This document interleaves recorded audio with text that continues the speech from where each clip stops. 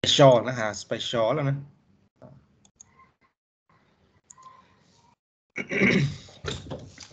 ពួកអ្នក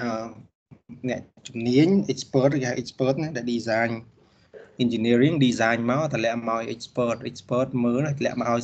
technical ណាអញ្ចឹងពួកគាត់អត់ដឹងអីទេមើលតាមតាតនន័យមើលតាមតា guideline ពីលើគេដាក់មកទេណាធ្វើ guideline ហ្នឹងគឺពួកយើងហ្នឹងឯង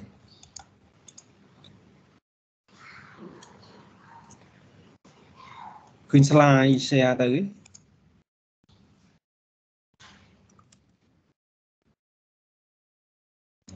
ឃើញគូឃើញឃើញ slide នេះអូខេ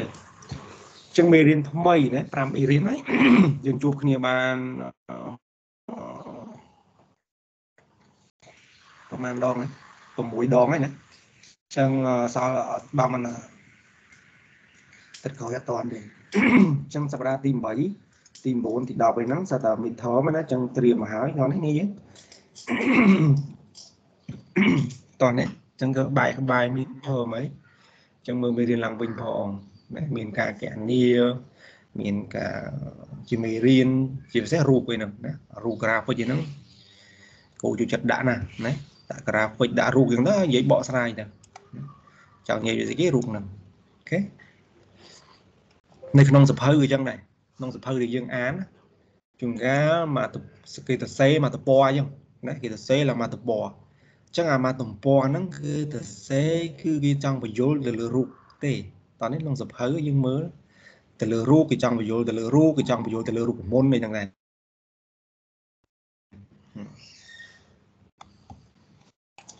អញ្ចឹងមេរៀនថ្មីនៅថ្ងៃនេះយើងមើលស្អីគេនេះ optical fiber ដដែលប៉ុន្តែយើងសិក្សាអត់និយាយយើងដាក់ពលឺចូលទេគឺយើងសិក្សាទៅលើ dispersion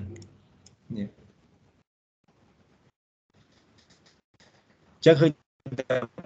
ពាក្យ dispersion ហ្នឹងយើងឲ្យញោមន័យភ្លាម dispersion នេះគេ dispersion តាមការយល់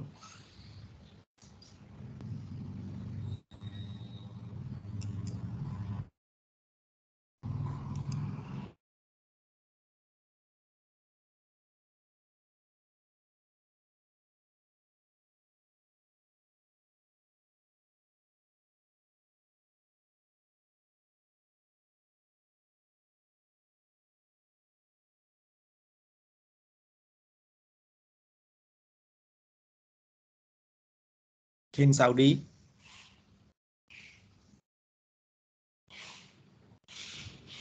Balago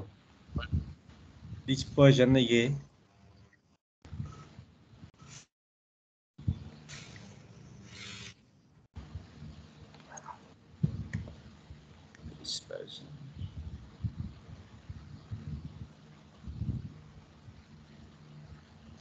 mình đang hai việc ca ban chạy thì optical fiber លោកការបែងចែក optical fiber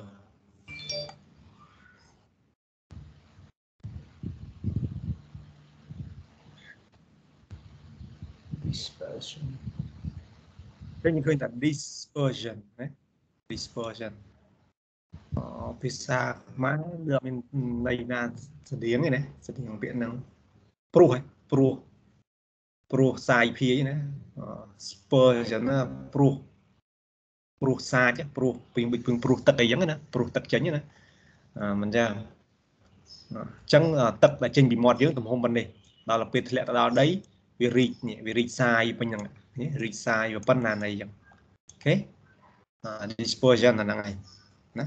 វាយើងបកន័យធម្មតា dispersion សាយភាយណា dispersion ព្រោះណា disperse នេះ disperse ព្រោះអញ្ចឹងទៅស្តៀងសូគ្នាដែរព្រោះសាច់សាច់ព្រោះអញ្ចឹងទៅណា dispersion អញ្ចឹងពាក្យហ្នឹងបើយើងមើលទៅគឺថាខ្ចាត់ខ្ចាយហ្នឹងឯងឃើញព្រោះព្រោះចេញពីមាត់ទៅវាសាយខ្ចាត់ខ្ចាយពេញនឹងរីកធំជាងមុន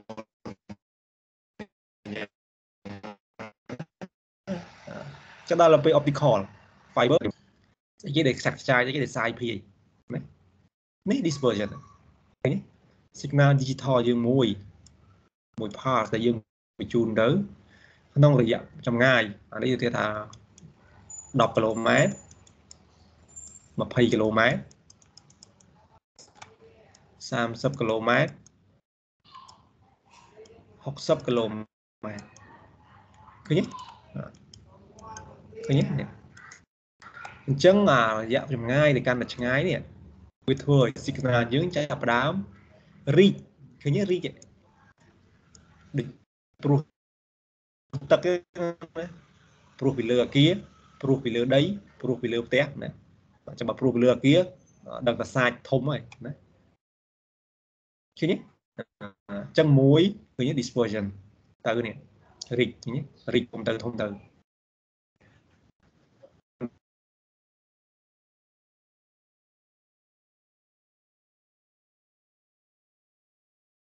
thăm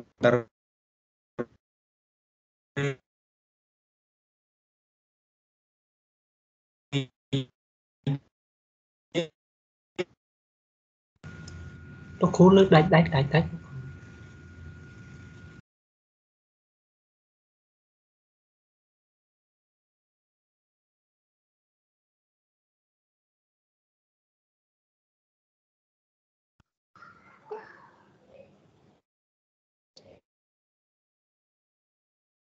យើងផ្សេងលើកដាច់ដាច់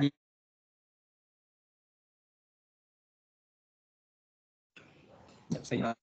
លើកដាច់ដាច់ទេលឺលោកគ្រូលឺ slow slow គឺដាច់ដាច់ហ៎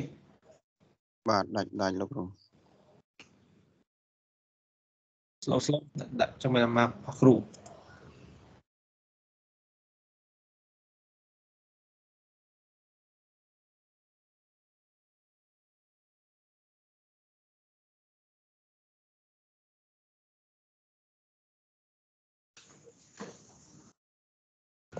លឺបាត់លឺបាត់លោកគ្រូអូខេចាលើលឺច្បាស់លឺច្បាស់លឺវិញលោកគ្រូលឺវិញហើយអត់អីណាដូចនៅនេះហើយអញ្ចឹង10គីឡូ20គីឡូយើងឃើញតែរីកនេះរីរីកពី1មីក្រូសេកិននេះឡើងទៅប្រហែលអ1ក្បៀ2មីក្រូសេកិនអានេះប្រហែលរីកទៀតណារីកទៅទៀតណា1ក្បៀ5អញ្ចឹងទៅមីក្រូសេកិនអានេះប្រហែល2មីក្រូសេកិនដល់ពេលនេះរីកទៅប្រហែល5មីក្រូសេកិនអញ្ចឹងទៅឃើញទេអញ្ចឹងគ្រាន់តែពីកន្លែងនេះមកដល់កន្លែងនេះ60គីឡូម៉ែត្រនេះធ្វើឲ្យ signal យើង broad ពីអាដើមបាន4មីក្រូសេកិនឃើញទេ4បូក1 original យើង1មីក្រូសេកិនតែលើវា broad ថែម4មីក្រូសេកិនទៀតនេះអា4នេះដែលយើងត្រូវ design អឺ bit យើងធ្វើម៉េចចេញមកឲ្យមានកម្រិតធំជាង4មីក្រូសេកិនហ្នឹងមកណាយើងឈ្នះ dispersion ប៉ុន្តែ data rate យើងធ្លាក់ចុះឃើញបានមួយអត់មួយ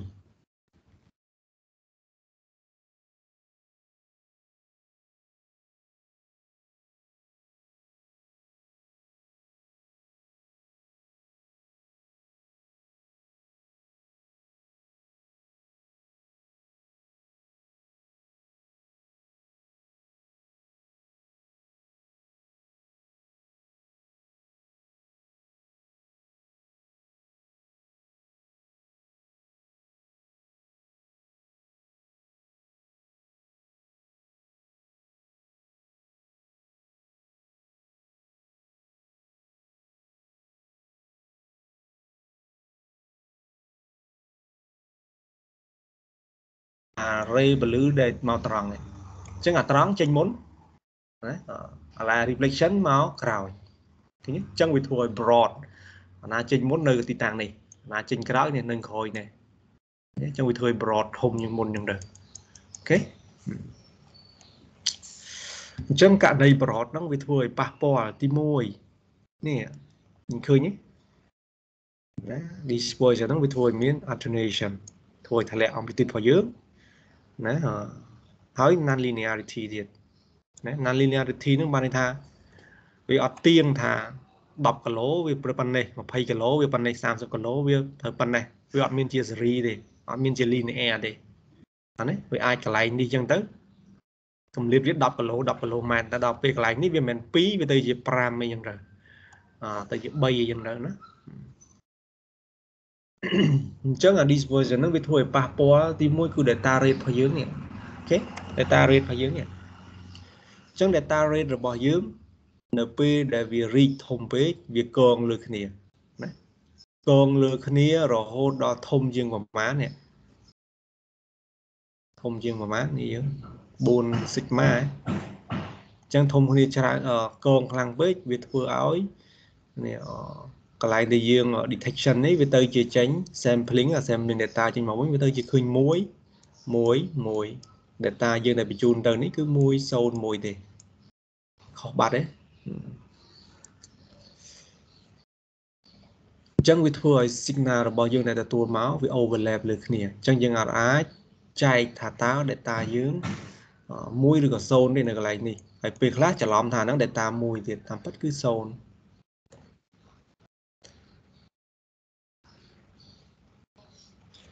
តើ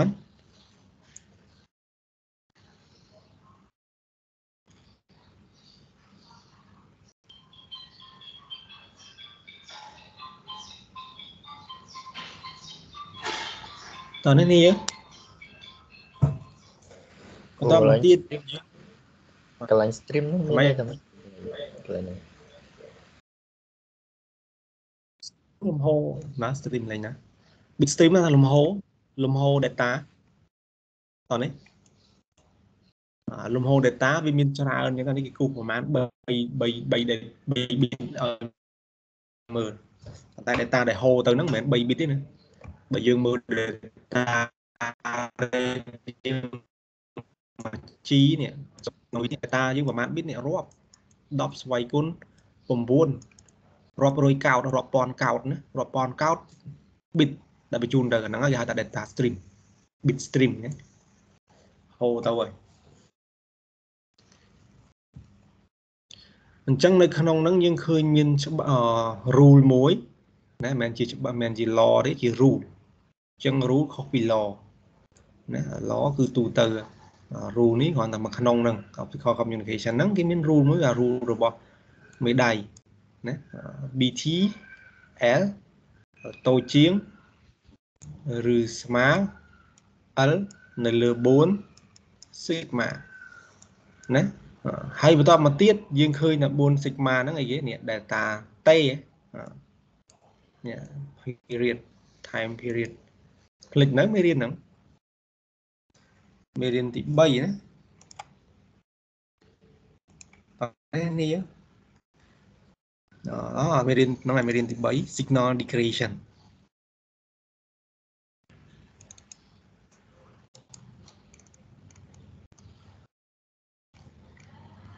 មានចាំទេ signal degradation របស់យើងរឿង power ក៏យើងបាននិយាយរឿង time ណា time time response ចេញពីណាពីណាមកហ្នឹងក៏យើងបាននិយាយដែរត្រូវទេ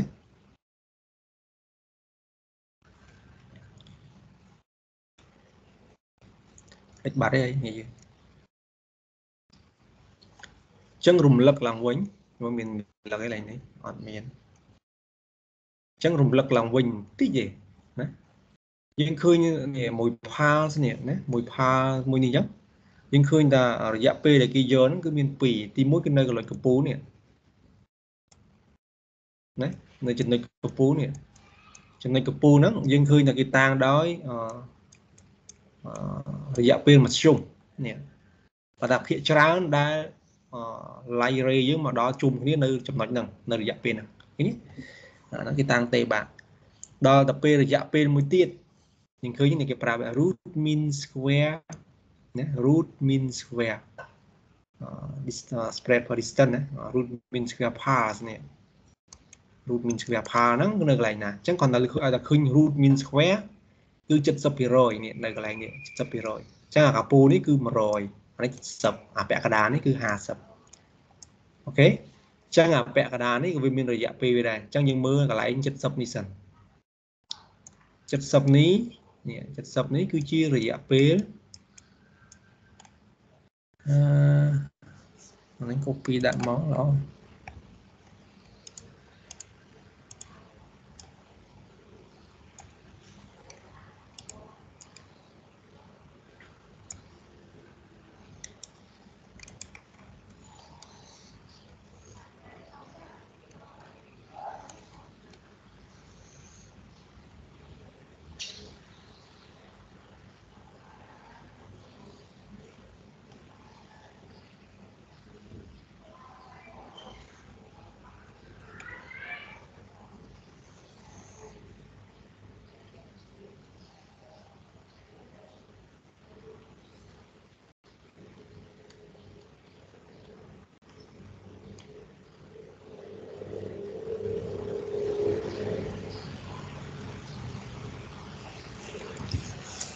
ចឹងថែមអានេះឲ្យហ្មងទៅកុំឲ្យបាក់ទៅសេឡើងវិញ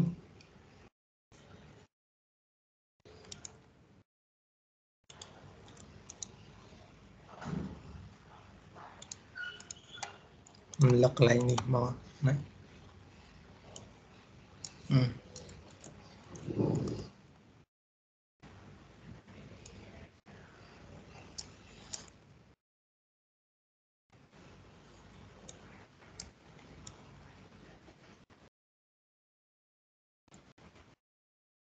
អូខេចឹងយើងមើលចឹងយើងមើលរយៈពេលនៅកន្លែងនេះណាឃើញទេនេះចឹងរយៈពេលវាក៏មានដល់ទៅ3ចំណុចចំណុចកំពូលជារយៈពេលមធ្យមណាភាគច្រើនដែលរេពលឺ100រូតមានវាសិក្មាហ្នឹងគឺរូតមានស្វះគឺ70%អូខេ មកដល់ពេលកន្លែងកដានេះគឺ50%គេឲ្យឈ្មោះថា half នេះ full width half ណា full width half modulation ណាអូខេ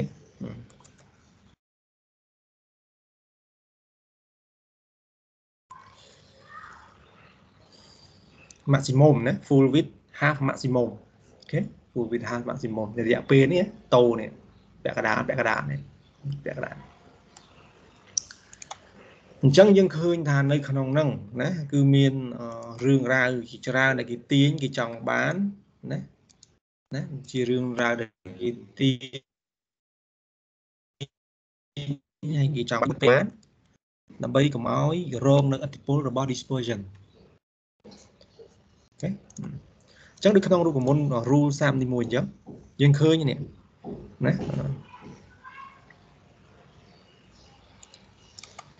យើងឃើញរូបមន្តហ្នឹងគឺមានរូបមន្តមួយយើងឃើញថាវាថែម BL នេះមួយណាប៉ុន្តែដល់ពេលយើងរៀននៅមេរៀនរៀនទី3ហ៎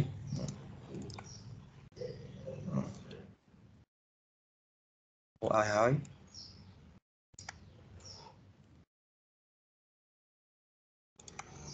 នេះឃើញ BT យើងតូចជាង 1លើ4 sigma ហើយ4 sigma ហ្នឹងអីគេ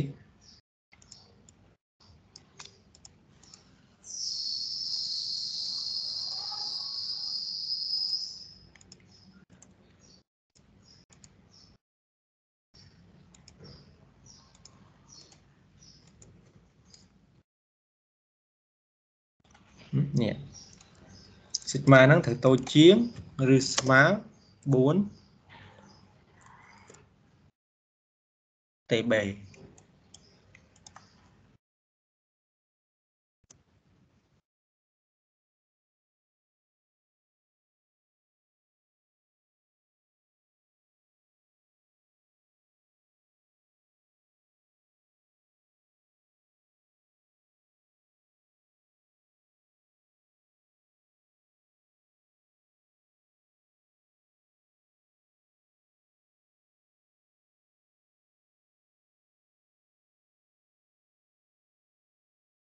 ងយើង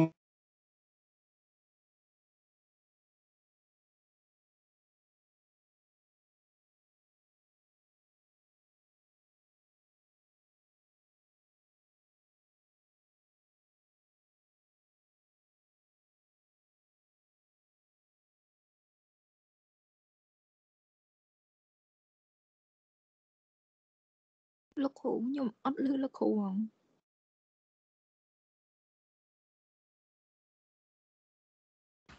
ដាច់ជាហើយមកពីខេងហ្នឹងមើលទៅមែនតា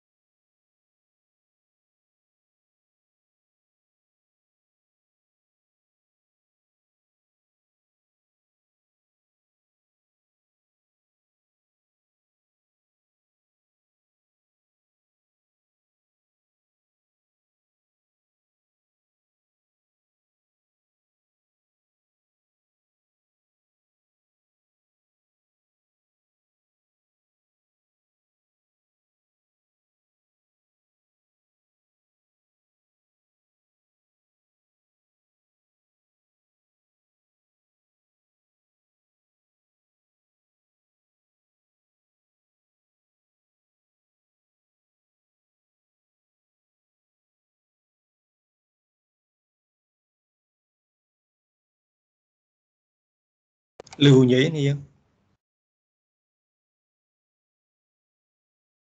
លឺលឺចាំខ្ញុំមានល្អល្អនេះដាច់តែម្ដងមិញដាច់ដាច់ធម្មតាគ្នាយើងមិញ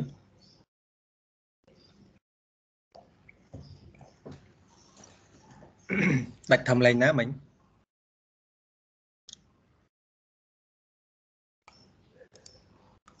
ដាច់ធម្មតាគ្រូដាច់ធម្មតា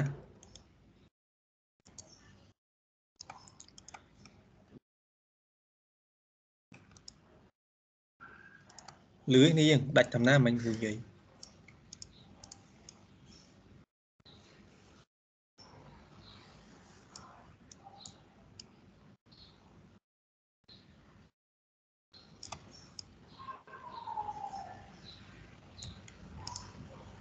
លឺលឺគ្រូនិយាយលោកគ្រូស្អាតឡើងវិញខ្លះក៏បានដែរលោកគ្រូដោយសារតខ្ញុំលឺលោកគ្រូម្ដងលឺម្ដងដាច់ស្ទុះដែរអូចុះយើងចាប់ដើមធ្វើ slide នឹងឡើងវិញណាចឹងយើងដូចយើងឃើញក្នុងរូបនេះអញ្ចឹងនេះឃើញទេតាំងពីមេរៀនទី2ទី3មកយើងឃើញហើយណា attenuation ហើយនឹង non linearity ហើយនឹង dispersion ណានៅ មេរៀននេះយើងឃើញគេនិយាយបានខ្លះហើយអញ្ចឹងនៅក្នុងមេរៀនទី3នេះយើងឃើញរយៈពេលនេះវាមាន3 3ទីតាំងទីតាំងកម្ពូលនេះជារយៈពេលមធ្យមដែលភាគច្រើននៃកម្មពលឺនឹងបានមកដល់ព្រមគ្នាអញ្ចឹងវាធ្វើកន្លែងហ្នឹង maximum ដល់ទៅពេលកន្លែងនេះគឺហៅឈ្មោះថា sigma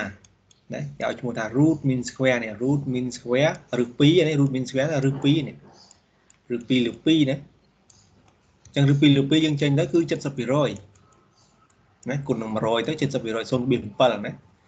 70%ចាំអញ្ចឹងឃើញ70%នៅកន្លែងនេះ100%នៅកំពូល70%នេះ50ឃើញ50អានេះ70អូខេអញ្ចឹងនៅកន្លែង70ហ្នឹងរយៈពេលពី70ហ្នឹងមកដល់ខាង70ខាងនេះយើងឃើញថារយៈពេលហ្នឹងគេឈ្មោះថា sigma ដល់ពេលកន្លែងពាក់កណ្ដាលនេះវិញគេឈ្មោះថា full width half maximum នៅ50%នេះគឺតាំងដោយតោឃើញទេតោចឹងស្គាល់រយៈពេលនឹងអស់ហើយយើងមានតន្ន័យមួយចំនួនទៀតដូចនេះ data តោណា data តោជាចន្លោះរយៈពេលណាមួយវាស្មើជាមួយនឹង TB នេះ TB ហ្នឹងកន្លែងណា TB ហ្នឹងនេះ okay okay TB នេះ TB ហ្នឹងវា delta tau ណា data តោអូខេ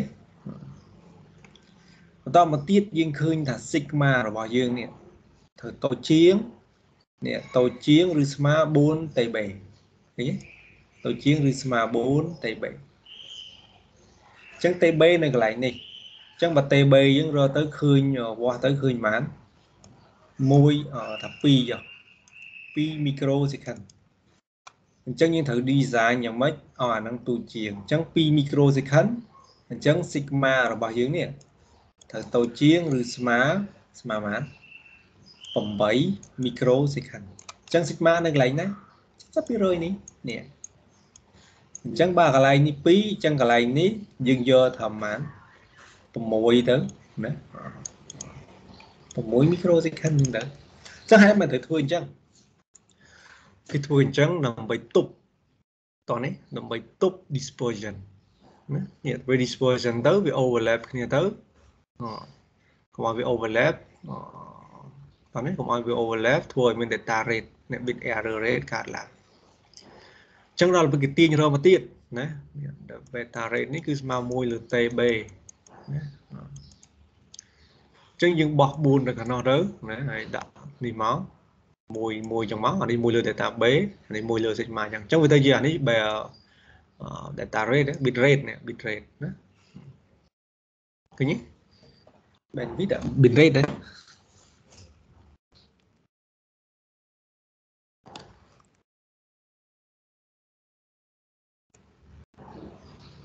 ហ្នឹងហើយ bit rate ណាចឹង bit rate នេះគឺអត់មានតន់ប៉ះជាមួយនឹងប្រវែងទេតែដល់ពេល rule sum នេះវិញគាត់ថែមប្រវែងហើយ ឃើញទេចឹងគាត់ថែមទៅ L មក L សងខាងហ្នឹងនេះឃើញទេគាត់ថែម distance សងខាងមកណាតាមពិតអាហ្នឹងស្រួលគ្នាបានហ្នឹងឃើញទេអអញ្ចឹង bit rate យើងធ្វើម៉េចធ្វើទៅណាឲ្យទូជាងឬស្មើ1លើ4 sigma នេះអញ្ចឹងបើយើងកណនានេះ sigma យើងប្រហែលមិញ6អញ្ចឹង1នៅលើប្រហែល4គុណជាមួយនឹង6 អញ្ចឹងវាត្រូវស្មើប្រហែល1នៅលើ24ណាគុណ10ស្វ័យគុណដក6 second ណា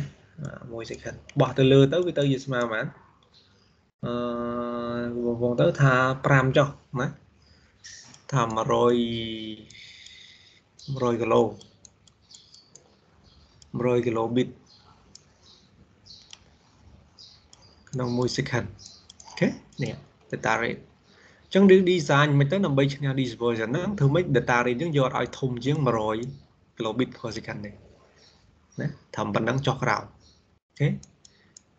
យើងរកចេះទៅបានហើយណាយក1 megabit អីយ៉ាងទៅតានេះគ្រូ design នេះដោយសារគ្រូយកផានហ្នឹង1 microsecond នេះណាអញ្ចឹងវាអាចទូចជាងនឹងទៀតធ្វើ nano second នោះណានេះមួយ bit ហ្នឹងបានដល់ nano second នោះដែលពលឺអាចកន់ ផាននឹងបាន nano second តានេះគ្រូដាក់មីក្រូណាទេតោះនេះ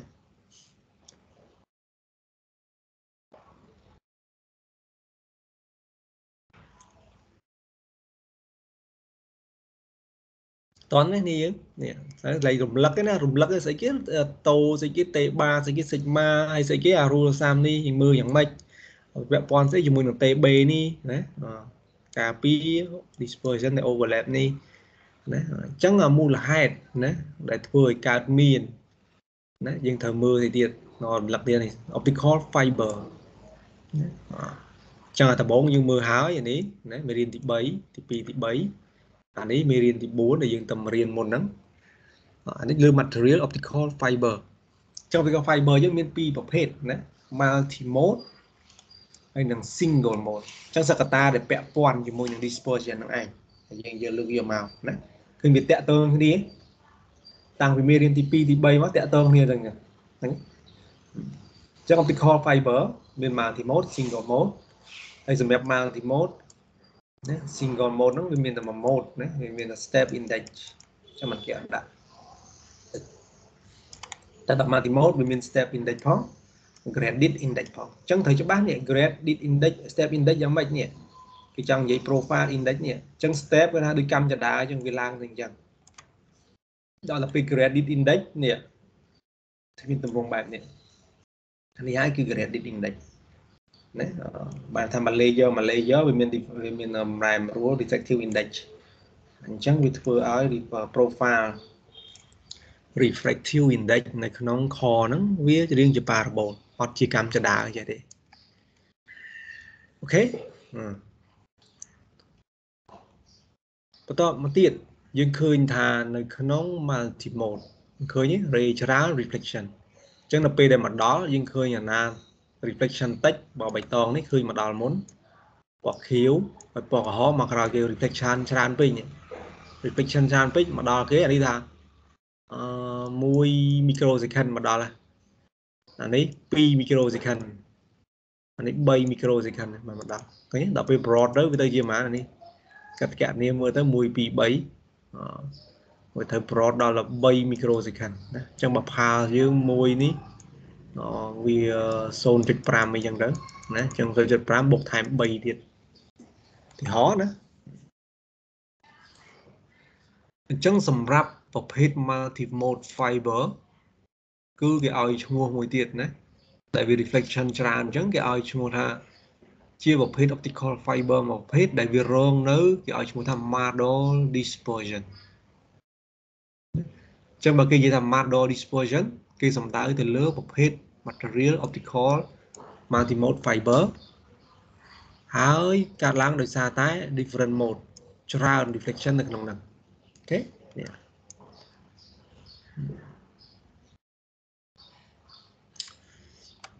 អូខេហើយដល់ទៅពេលពលឺណា different color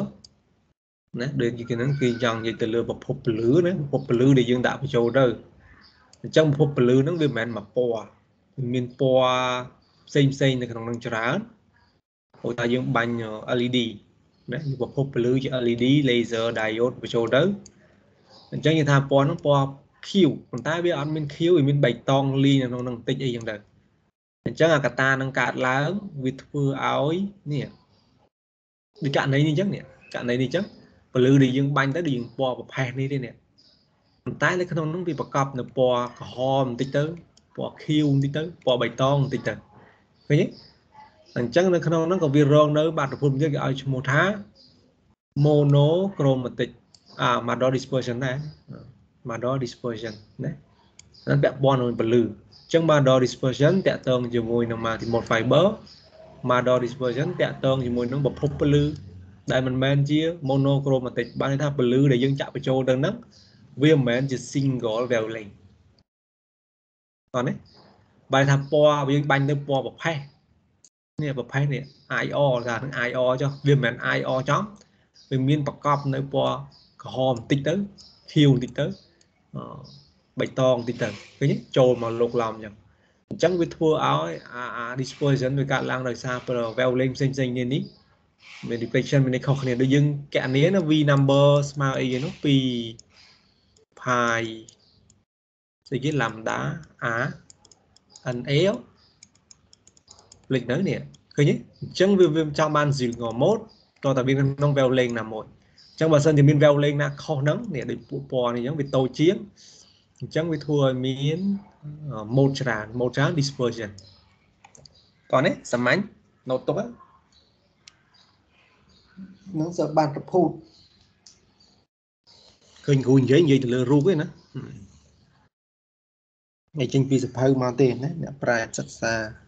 ចងក្រងជាសភៅឲ្យយើងគ្នាយើងបើអត់ស្ដាប់បានទេនេះយើងទៅអានសភៅបន្ថែមអូ ខេតោះនេះអត់មានអអណានេះយើងគឺនិយាយម្នាក់ឯងទៅដាច់បាត់អត់ទេលោកគ្រូអត់អីទេអូខេអញ្ចឹងតនៅ Mador dispersion ឃើញទេ Mador dispersion វាមានករណីដល់2 multimode fiber និង different color ដែលប្រភពពន្លឺយើងបញ្ជូននៅក្នុង optical fiber ហ្នឹងវាមិនមែនជា single wavelength អញ្ចឹងបានយើងឃើញពពួក LED light source ធម្មតា ដែលគេចាក់បញ្ចូលក្នុង optical fiber ហ្នឹងអត់សូវប្រើទេគេច្រើនតែប្រើ laser ណា laser ពូ laser ចេញមកគឺវាអឺគេថាថាមួយពណ៌ណាបើថាពណ៌ក្រហមគឺពណ៌ក្រហមបើថាពណ៌ខៀវគឺពណ៌ខៀវអូខេចឹងគូនឹងយើងមានរូបឲ្យមើលណាបន្តមកទៀតយើងឃើញថា model dispersion នេះដែលមានតម្លៃគិតជា nanometer ក្នុង1គីឡូនេះណា data តូចនេះ data តូចទេណាឬលើស្អីនេះលើ L លើប្រវែងគិតជាគីឡូម៉ែត្ររយៈពេលប្រវែងអូខេរយៈពេលប្រវែងអញ្ចឹងយើងឃើញថា model dispersion វាពាក់ព័ន្ធតែជាមួយនឹង material ណាអញ្ចឹងយើងឃើញមានពាក់ព័ន្ធនេះ ណា refractive index អត្ត material គឺ refractive index ចូលមក N1 N2 ហើយលបឿនពលឺតែប៉ុណ្ណឹងហើយបំលែងវាហ្នឹងមក numerical aperture អូខេ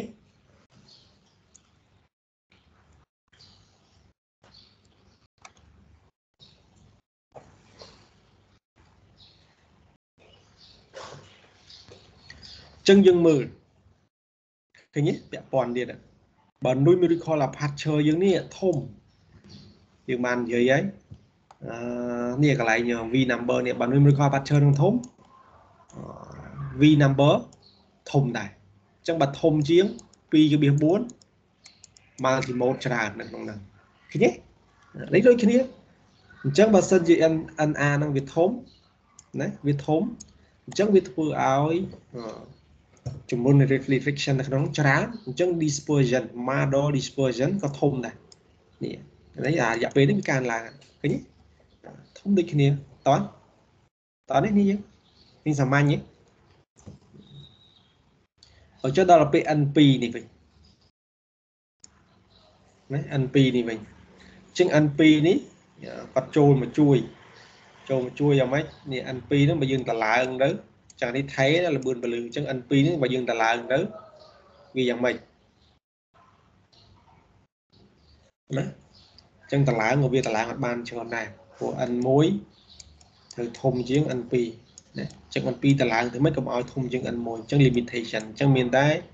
នុយ100กับ aperture ទេដែលមានលក្ខណៈបានណា dispersion material ឡើងនេះអញ្ចឹងធ្វើម៉េចអានឹងទូចល្អនេះនឹង aperture នេះ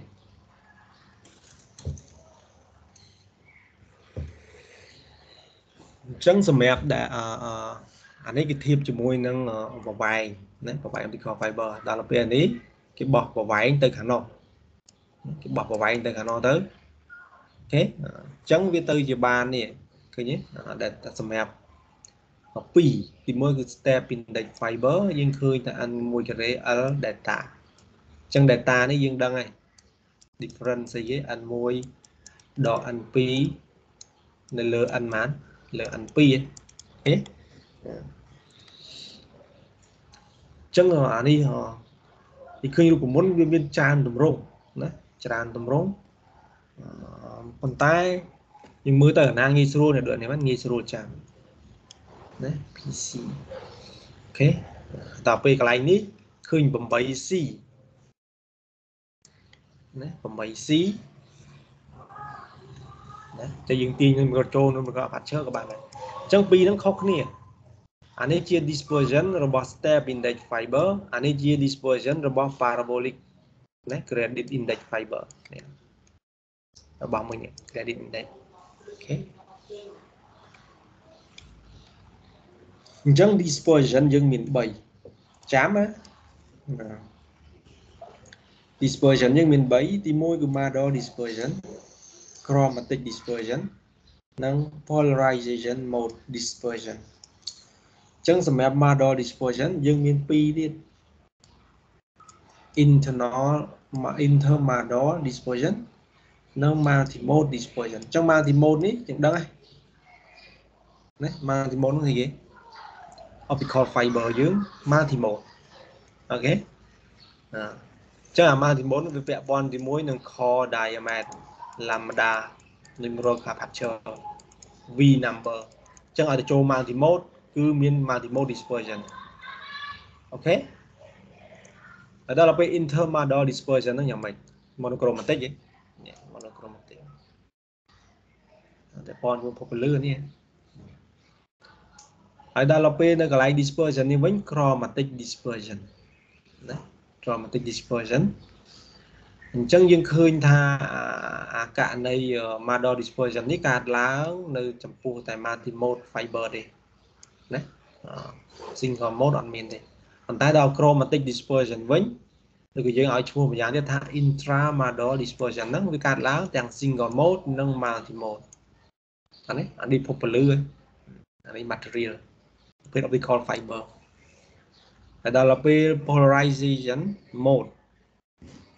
ចឹងពលឺដែលយើងបញ្ជូនទៅឬក៏ electromagnetic wave ដែលយើងបញ្ជូនទៅវាមាន polarization បើន័យថា electric field របស់យើងនេះតើតើវា polarize បើថា oscillation ក្នុងទម្រង់យ៉ាងម៉េចផ្សាយដែនចេញទៅ ជាទម្រង់ប្រឈរអញ្ចេះឬជាទម្រង់ផ្ដេកអញ្ចេះអាផ្ដេកអញ្ចេះនេះផ្ដេកធ្វើម៉េចណាផ្ដេកចេះអូខេផ្ដេកគេឲ្យឈ្មោះថា vertical ហើយនិង horizontal ឃើញទេហើយបើយើងទៅឃើញបកគោឡងតែនណាបកគោឡងតែនគេដាក់ឃើញគេដាក់ដែកដាក់ដែកប្រឈរប្រឈរអញ្ចឹងណា ដាក់ដែកប្រឈរប្រឈរដូចជាពួក097ហ្នឹងគេមានមួយរោនអញ្ចឹងគេដាក់ដែកប្រឈរប្រឈរអញ្ចឹងណាអញ្ចឹងបើយើងដាក់ valve របស់យើងឡើងចេះណាឡើងចេះអញ្ចឹងវាប៉ះមក reflect ទៅវិញអស់អញ្ចឹងសាយវាតែចេញទេ GSM គេដាក់នៅខាងក្នុងនេះអានតាណា GSM អញ្ចឹងធ្វើម៉េចណាអញ្ចឹងធ្វើម៉េចអាកន្លែងផ្សាយហ្នឹងគេត្រូវប្រើនេះ vertical អញ្ចឹងណាផ្សាយចេញទៅ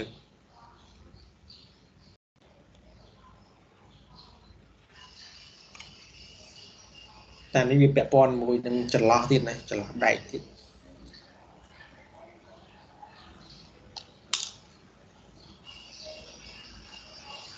វាពាក់ព័ន្ធមួយចន្លោះដែងទៀតហ្នឹងបើចន្លោះដែងហ្នឹងវាតូចជាង wavelength អញ្ចឹងអាមិនក៏ទៅបានដែរ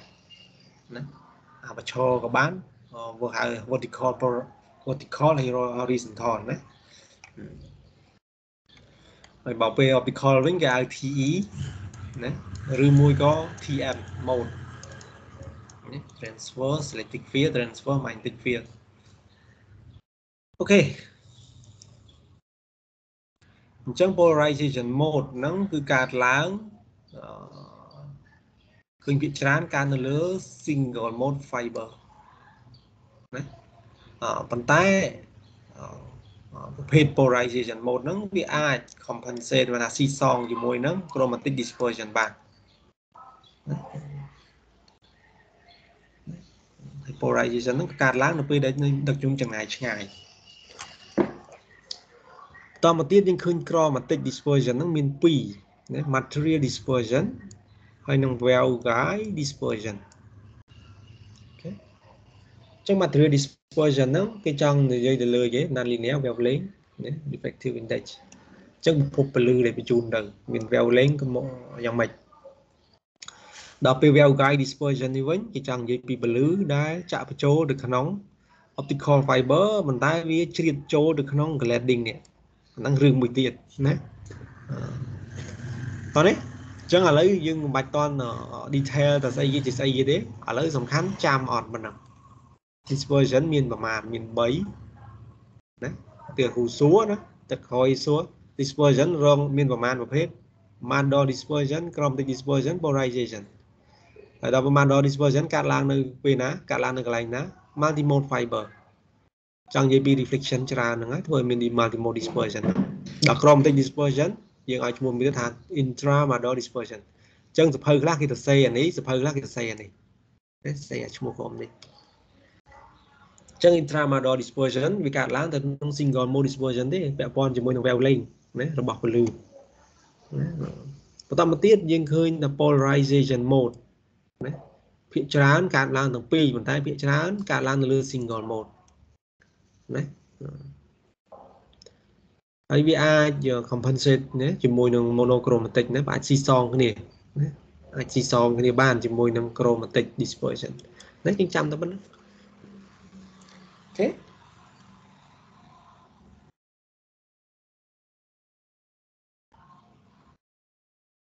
មានសំណួរអី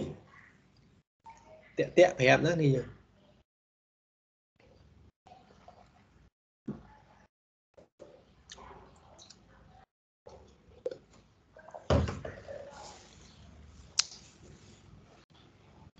ឬគូនិយាយទេ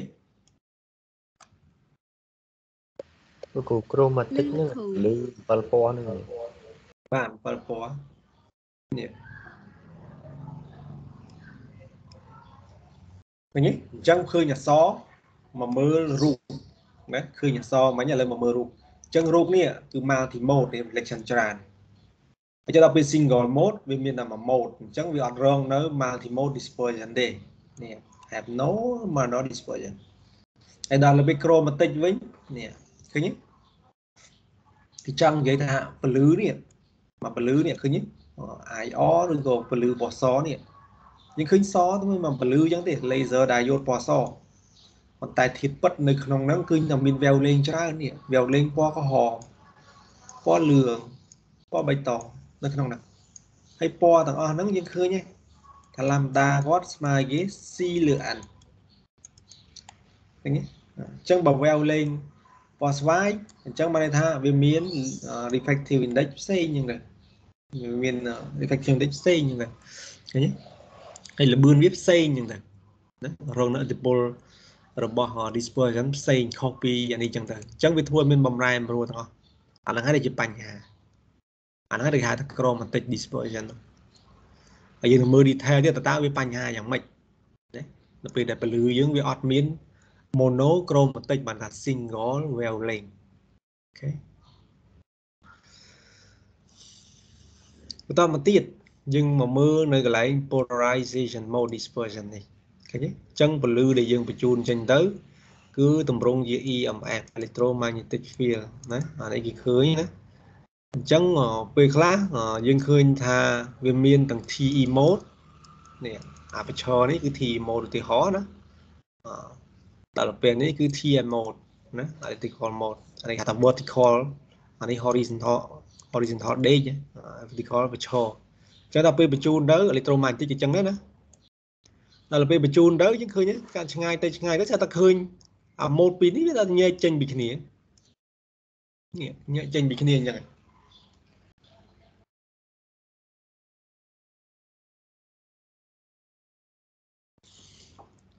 ឃើញញែកចេញពីគ្នាអញ្ចឹងញែកចេញពីគ្នាអញ្ចឹងវាអត់មានបញ្ហាអីកើតឡើងកន្លែងហ្នឹងអញ្ចឹងវាធ្វើឲ្យមាន dispersion ហ្នឹងហើយវា multi mode អញ្ចឹងវាធ្វើឲ្យ signal មួយមកមុនអាខ្លះមកក្រោយអាណានៅ mode នេះមកយឺតអាណានៅ mode ឈរនេះមកលឿនហ្នឹងអញ្ចឹងធ្វើឲ្យមាន dispersion ដដែលឲ្យតែមានយឺតជាងគ្នាទៅវិញទៅមក dispersion កើតឡើង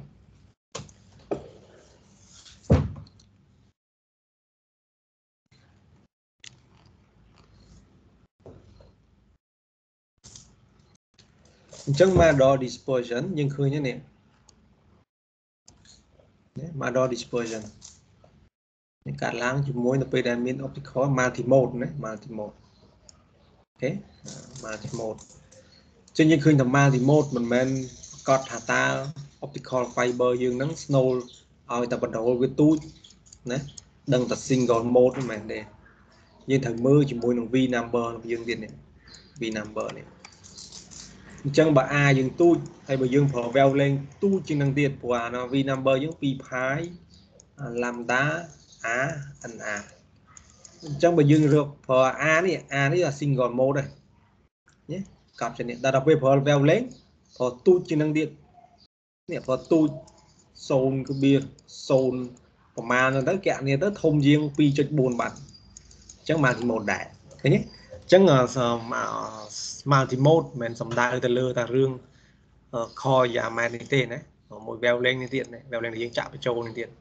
មួយមួយ call aperture មួយទៀតអូខេ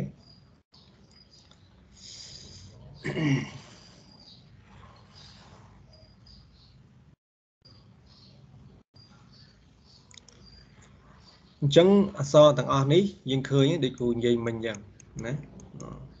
យើងឃើញតែករណីទី1ពលឺដែលចាក់ចូលទៅក្នុង multi mode fiber អញ្ចឹងមាន reflection អូខេ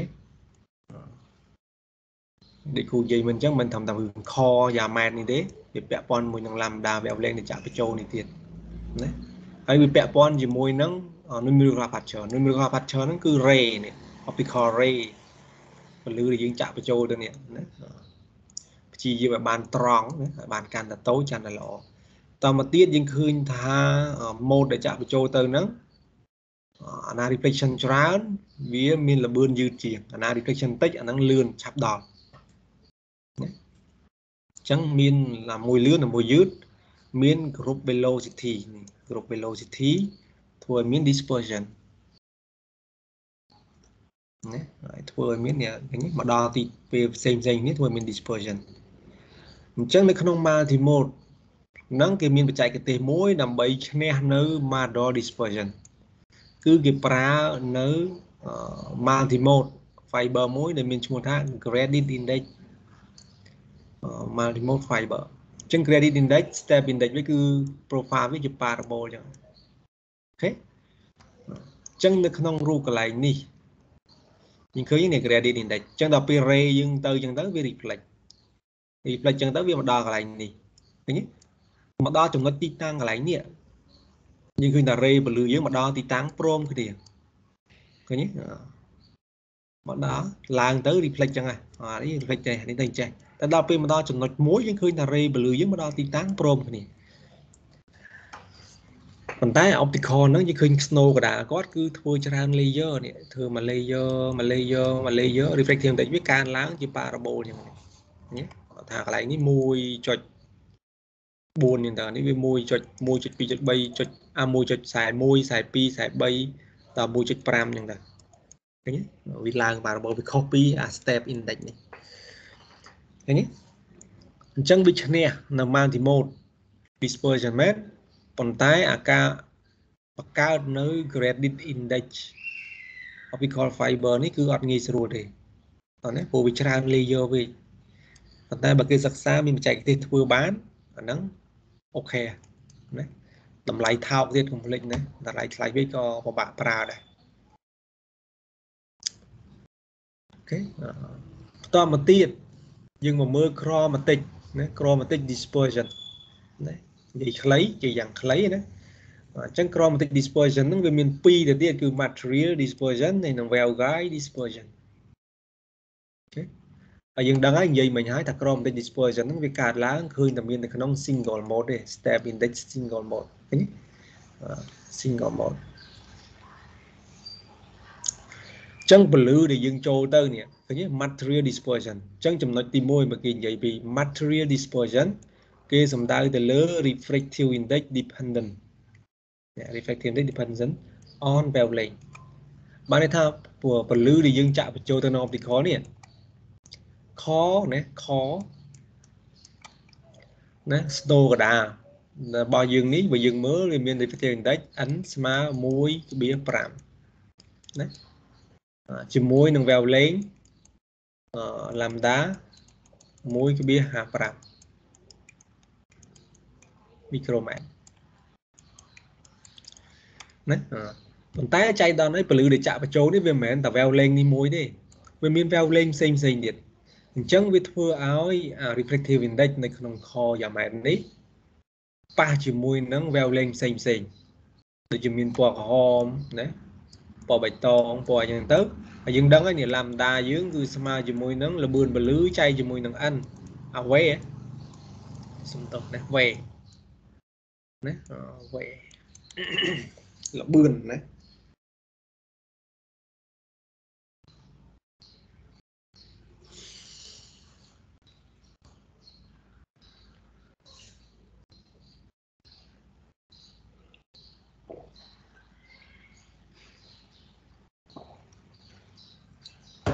អញ្ចឹងនៅពេលដែលពណ៌ក្រហម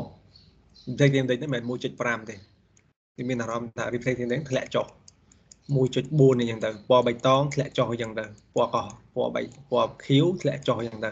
អញ្ចឹងវាធ្វើឲ្យលបឿនដែលរត់នៅក្នុងអានេះវារត់ផ្សេងផ្សេងគ្នាតោះនេះដូចក្នុងរូបអានេះមកមាន reflection ទេអានេះគេចង់និយាយរឿងពលឺ អញ្ចឹងអាណាអាណាដែលដែលដែលមានពណ៌ក្រហមឧទាហរណ៍ណាអាណាដែលមានពណ៌ក្រហមវារត់មកដល់ទីតាំងនេះលឿនជាងអាណាដែលមានពណ៌ខៀវវាយឺតជាងអញ្ចឹងទៅណាយឺតជាងបន្តិចឃើញទេអញ្ចឹងមិនថាមានតែម៉ាទីម៉ូនេះទេណាប្រភពពលឺយើងឃើញអញ្ចឹងបញ្ជាក់ឡើងវិញនិយាយខ្លីណា chromatic dispersion គឺមានពីរប្រភេទកើតឡើងណាទីមួយគឺ material dispersion material dispersion សំដៅទៅលើ ប្រភពពលឺដែលចាក់បញ្ចូលទៅហ្នឹងគឺវាមានមិនមែនជា single wavelength មិនមែនជា monochromatic monochromatic បានថាមិនមែន single wavelength ចឹងវាមាន wavelength ផ្សេងផ្សេងគ្នាវាធ្វើឲ្យ ray ពលឺហ្នឹងទៅដល់ទីតាំងដែលយើងទទួលបានហ្នឹងមានល្បឿនផ្សេងផ្សេងគ្នាណាមកលឿនណាមកយឺតដូចចឹងទៅ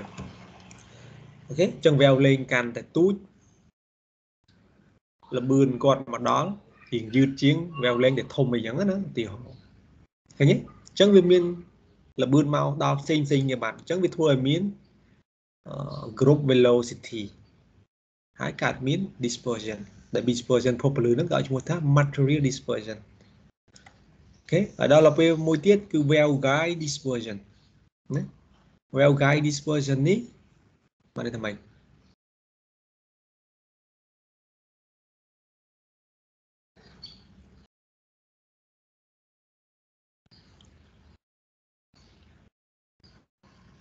ណាអ well well well guide dispersion នេះគេចង់និយាយអំពីពលឺដែលជ្រៀតចូលទៅក្នុង gladding អូខេទៅក្នុង gladding អញ្ចឹងយើងដឹងហើយណាតោះនេះ well guide dispersion នេះគេចង់និយាយពីពលឺដែលជ្រៀតចូលទៅក្នុង gladding ឃើញទេសាមញ្ញអូខេ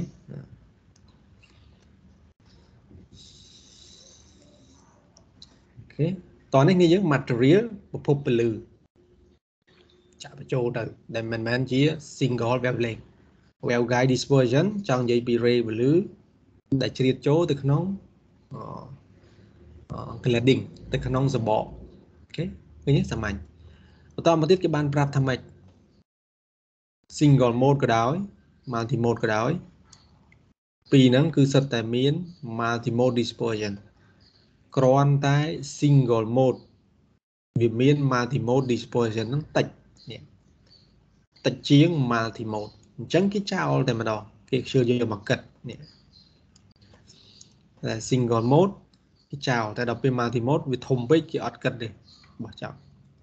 ប៉ុន្តែ single mode វាត្រូវរងឥទ្ធិពល2នេះទៅវិញ material dispersion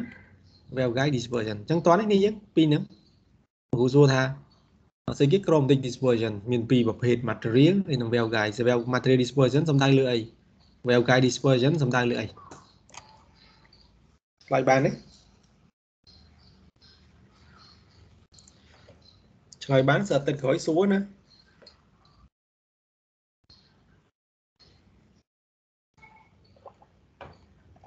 លឿននេះ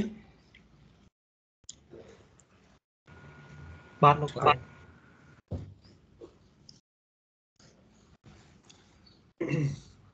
ចឹងយើងមកមើល detail នេះណាករណី material dispersion នេះ material dispersion ឃើញ wavelength វា wavelength វាដែលបញ្ជូនចេញទៅវាអានេះពពួកដែលគេចង់បាននេះគោលដៅដែលគេចង់បានគេចង់បានធ្វើម៉េច single wavelength ណា single wavelength monochromatic តាមមានតែមួយពណ៌ហើយ single wavelength ទៀត single wavelength គឺមួយពណ៌ ប៉ុន្តែធាតុពិតគឺវាអត់អញ្ចឹងវាតែងតែមាននេះគ្រាន់តែ maximum វាកន្លែងនេះអញ្ចឹងវាមានអាបន្តិចបន្តិចនៅគ្នាណាអានេះ profile មិនមែន PAL ទេណាអានេះគឺ profile របស់ wavelength ណាគេបើយើងមើលទៅគេ optical spectrum analyzer ហ្នឹងយើងមើលទៅឃើញអញ្ចឹងនេះ optical spectrum មិនជា PAL ទេណាមិនជា PAL data របស់យើងដែលបញ្ជូនទៅនេះ ដល់ពេលនេះបាន data របស់យើងនេះអញ្ចឹងគេយកអាហ្នឹងមកគួបគេថាមកផាហ្នឹងនៅក្នុងហ្នឹងវាមិនមានតែមក wavelength ពលឺនៅក្នុងហ្នឹងវាមានច្រើននេះតែតិចតិចតិចអញ្ចឹងទៅពណ៌ខៀវពណ៌បៃតងពណ៌ក្រហមពណ៌អញ្ចឹងអញ្ចឹងដល់ពេលចាក់បញ្ចូលទៅអញ្ចឹងភាគច្រើនហ្នឹងគឺ laser diode LED laser ណាតែបើ laser គេចំហ្មងអាហ្នឹងគឺ សឹងតែក្បែរក្បែរនេះណាវាអាចមានតិចទេមានតិចនៅនេះចឹងចឹងដល់ពេលបញ្ជូនទៅយើងឃើញថាណា wavelength នៅក្នុងខហ្នឹងវាចាប់ដើមធ្វើការផ្លាស់ទីក្នុងលបឿនផ្សេងផ្សេងគ្នាអាណា wavelength នេះឃើញទេអាណា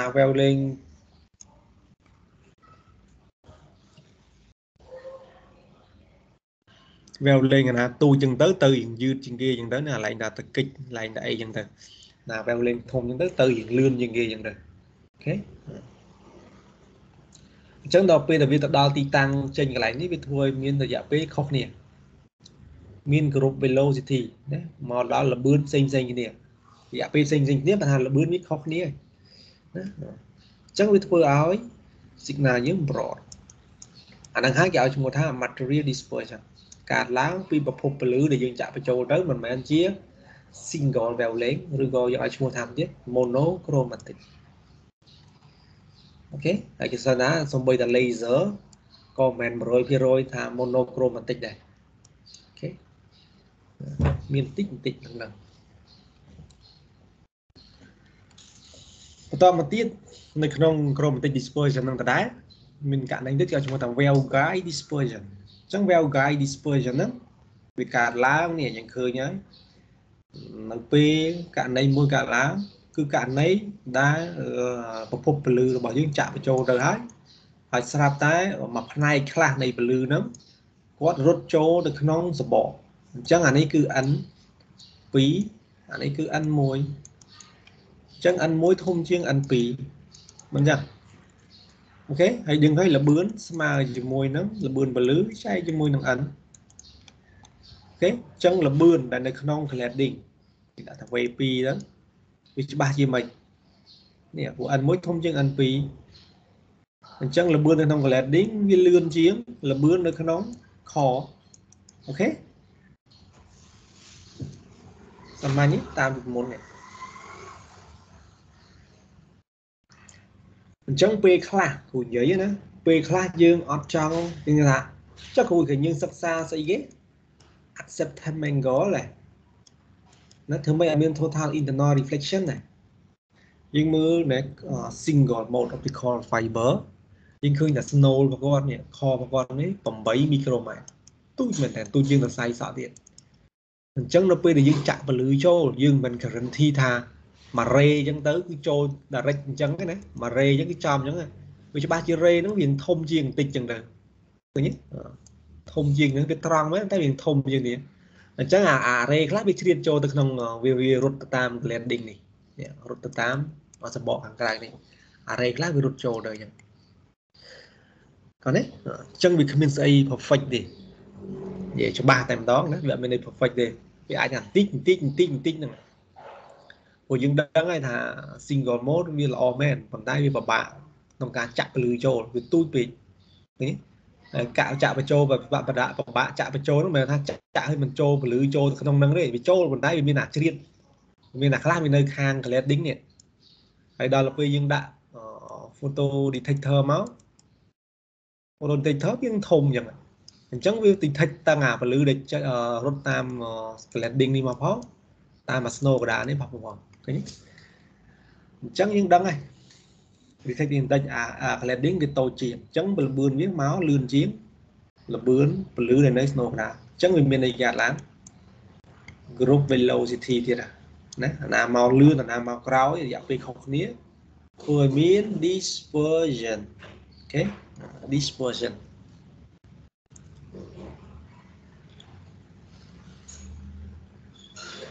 ត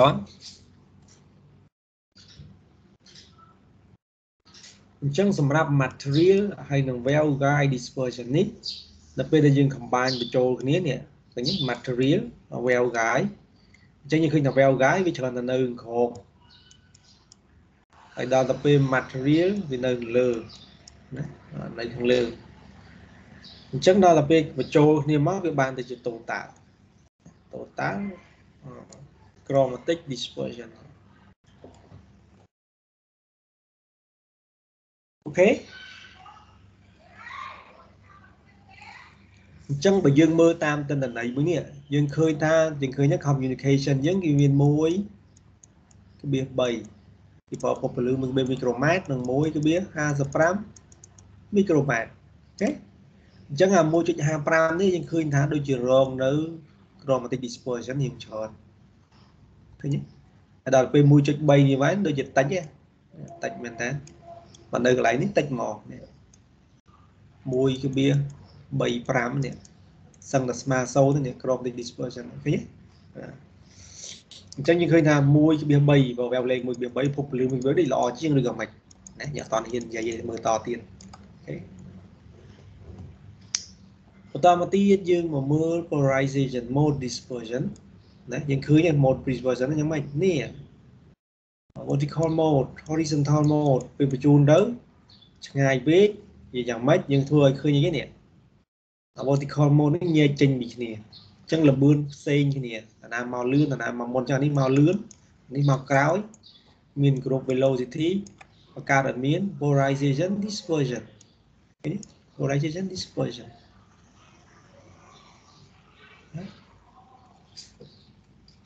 អញ្ចឹងសម្រាប់ណាសម្រាប់ polarization dispersion mode dispersion ហ្នឹងណាវាកើតឡើងដោយសារនេះវាអាចមាននេះ B free ណា B free gen ណានៅក្នុង core waveguide អញ្ចឹង B B free ហ្នឹងបានតែម៉េចនេះករណីខ្មៅដៃនេះឃើញឃើញណាឃើញសាមញ្ញ យ៉ាងសាមញ្ញដាក់ទៅរូបវាមកយើងយល់ហើយ B fring នឹងមិនបែកព្រាលណាឃើញទេធ្វើរូបបែកជាពីរនេះឃើញអានេះផងឃើញនៅកន្លែងនេះផងសួរហេតុអីបានអញ្ចឹងហេតុអីបានអញ្ចឹងមានយល់បាត់រភូតហ្នឹងនេះឃើញអសយើងទៅដូចនេះយើងឃើញអសនេះកន្លែងនេះអសកន្លែងនេះនេះបែកព្រិលណានេះបែកព្រិលទេអញ្ចឹងអាបែកព្រិលដោយសារអី polarize នេះ polarization នេះបានន័យថាអានេះវាមកលឿន អញ្ចឹងឧទាហរណ៍ថាកន្លែងនេះគឺអានេះគឺអាមួយនេះដែលយើងឃើញច្បាស់ដល់ពេលអាព្រាលព្រាលនេះគឺអាមកក្រោយនេះឃើញទេ graphic series real នេះរៀលជាមួយភ្នែកយើងផងណាចុះបើនៅសន្តិ optical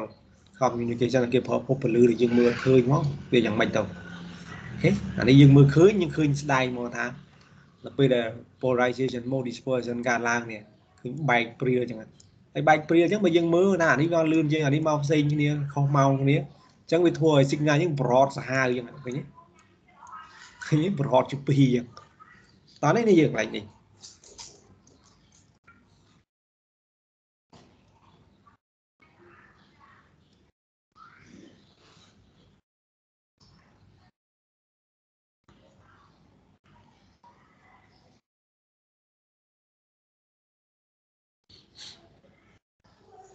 តោះនេះ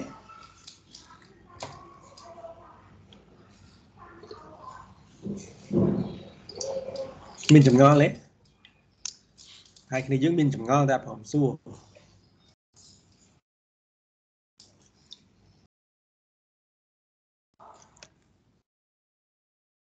លើកគូនិយាយអត់មានឆ្លើយតបពីសោះគូសិន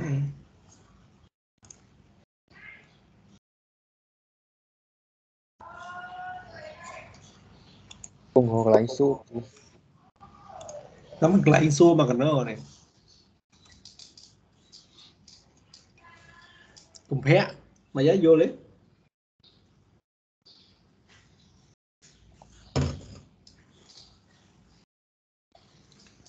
នេះគ្រូសួរវិញណា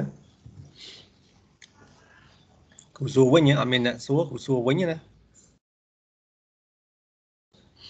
គ្រូសួរថានេះអា B refrain ចឹងហ្នឹងតើវាកើតឡើងដោយសារអីយើងដឹងហើយថា B refrain ហ្នឹងគឺដោយសារតែ polarization វាញែកចេញពីគ្នានេះអា vertical horizontal នេះញែកចេញពីគ្នាអានេះមកលឿនអានេះមកក្រោយវាកើតឡើងរូបភាពបែបនេះហើយយើងមើលឃើញអញ្ចឹងតែអា B refrain ហ្នឹងវាយ៉ាងម៉េចដោយសារបានធ្វើឲ្យមានសារអ្វីបានធ្វើឲ្យមាន B refrain ហ្នឹង ដោយសារតែ material នេះអញ្ចឹងនៅក្នុង material ហ្នឹងវាយ៉ាងម៉េចឆ្ងល់ទេ material ហ្នឹងយ៉ាងម៉េចបានវាធ្វើឲ្យមាន polarization នឹងខុសគ្នាអញ្ចឹង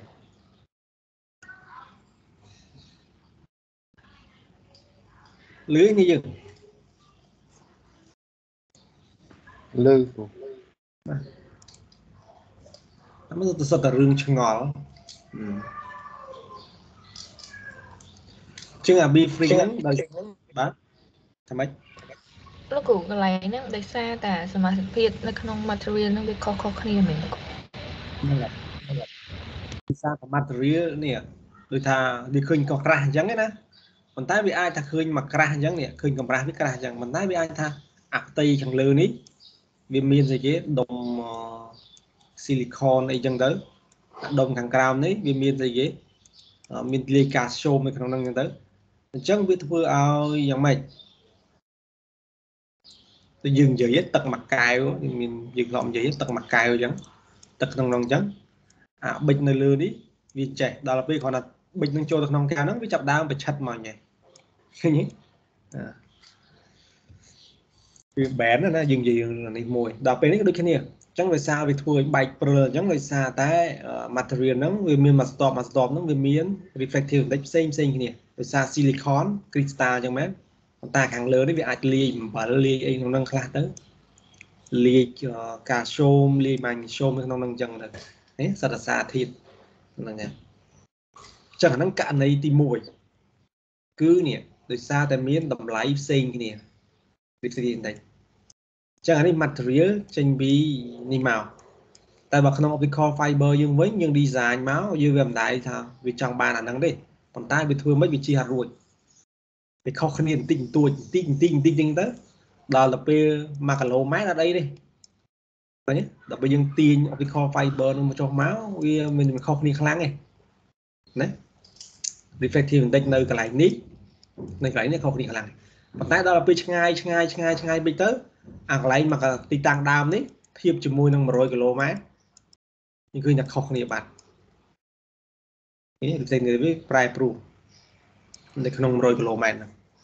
អញ្ចឹងវាធ្វើឲ្យមាន polarization ហ្នឹងធ្វើមាន B free នឹងកើតឡើងករណីទី1ករណីទី2កើតឡើងដោយសារតែ manufacturing របស់យើងនេះការបង្កើត optical fiber យើងនេះគឺទម្រង់ណាទម្រង់ optical core fiber យើងនេះអត់នៅកណ្ដាលទី1គឺមិននៅកណ្ដាល ទី2គឺ optical optical fiber យើងហ្នឹងអត់រៀងជារង្វង់ណាកន្លែងខ្លះទៅរង្វង់កន្លែងខ្លះទៅលេងចេញរៀងស្អីគេ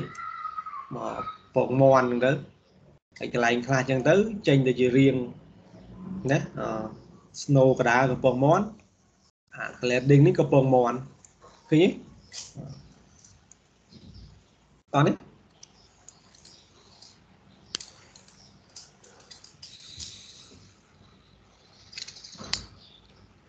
បីកន្លែងខ្លះយើងអាចថាអឺ5គីឡូម៉ែត្រ optical optical optical fiber យើងរៀងចឹងប៉ុន្តែក៏អត់នៅកណ្ដាលដល់ទៅពេល5គីឡូម៉ែត្រទៀត optical fiber យើងលេងចេញមកពងកពើនៅកណ្ដាលដែរប៉ុន្តែពងកពើ10គីឡូម៉ែត្រទៀតស្អាតតែចេញមក optical fiber យើងវាមានរាងពងកពើទាំងសបកទាំង snow កណ្ដាលអាហ្នឹងហើយដែលកបង្កឲ្យមាន polarization ហ្នឹងកើតឡើង polarization dispersion តោះនេះ អាសុទ្ធតែអ្វីដែលយើងអត់ចង់បាននេះប៉ុន្តែវាអាចនឹងកើតមានណាវាអាចនឹងកើតមាន វាត្រូវតែកើតមានតិចច្រើន គឺដោយសារតែ manufacturing របស់យើងហ្នឹងនេះរោងចក្រដែលបង្កើតមកនេះជួនកាលថ្ងៃហ្នឹងពងផលិតផលិតទៅស្អាតតែពីខ្យល់ព្យុះមកណាពងបង្កើតកើតស្អាតដាច់ភ្លើងពងតែបន្លាយខ្សែបន្លាយខ្សែដាច់ភ្លើងប៉ាត់អាហ្នឹងវាវហើយឃើញទេ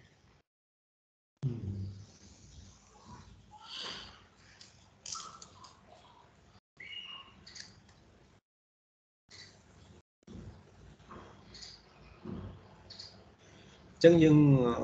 និយាយឡើងវិញអានេះយើងឃើញតែ multimode អញ្ចឹង multimode គាត់មាន model dispersion ហើយគាត់ក៏មាន chromatic dispersion នៅក្នុងហ្នឹងដែរ multimode fiber ណាប៉ុន្តែដល់ទៅពេល single mode fiber គាត់រងនៅតែ chromatic dispersion ទេអូខេ polarization គឺមានទាំងពីរតែភាគច្រើនគឺ single mode ណាមាន polarization dispersion ហើយយើងដឹងហើយ chromatic គឺមាន2 material dispersion និង waveguide dispersion material សំដៅទៅលើពពពលឺដែលមកមិនមែនជា mono chromatic បានថាមិនមែនជា single wavelength ដល់ពេល waveguide dispersion នេះវិញគឺការចាក់ពលឺចូលទៅវាអត់បាននៅក្នុង core ទេវាមានលេចចេញទៅខាង gladding ព្រោះ single single mode fiber វាទូចពិបាកក្នុងការចាក់ពលឺចូលអញ្ចឹងវាច្បាស់ជាមាន ray ពលឺតិចតួចដែលជ្រៀតនៅក្នុង gladding អញ្ចឹងលបឿននៅក្នុង gladding ហើយនឹងលបឿនពលឺនៅក្នុង core គឺខុសគ្នាតោះនេះខុសគ្នា polyclitic index វាខុសគ្នា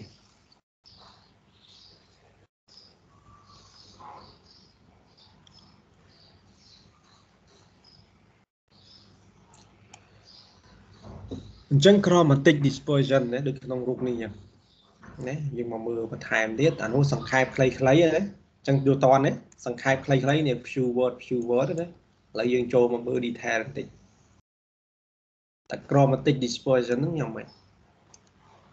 មើលរូបមន្តមើលអីចឹងណាអញ្ចឹងរូបមន្តយើងបានមួយណាដូចជា multimode dispersion ណា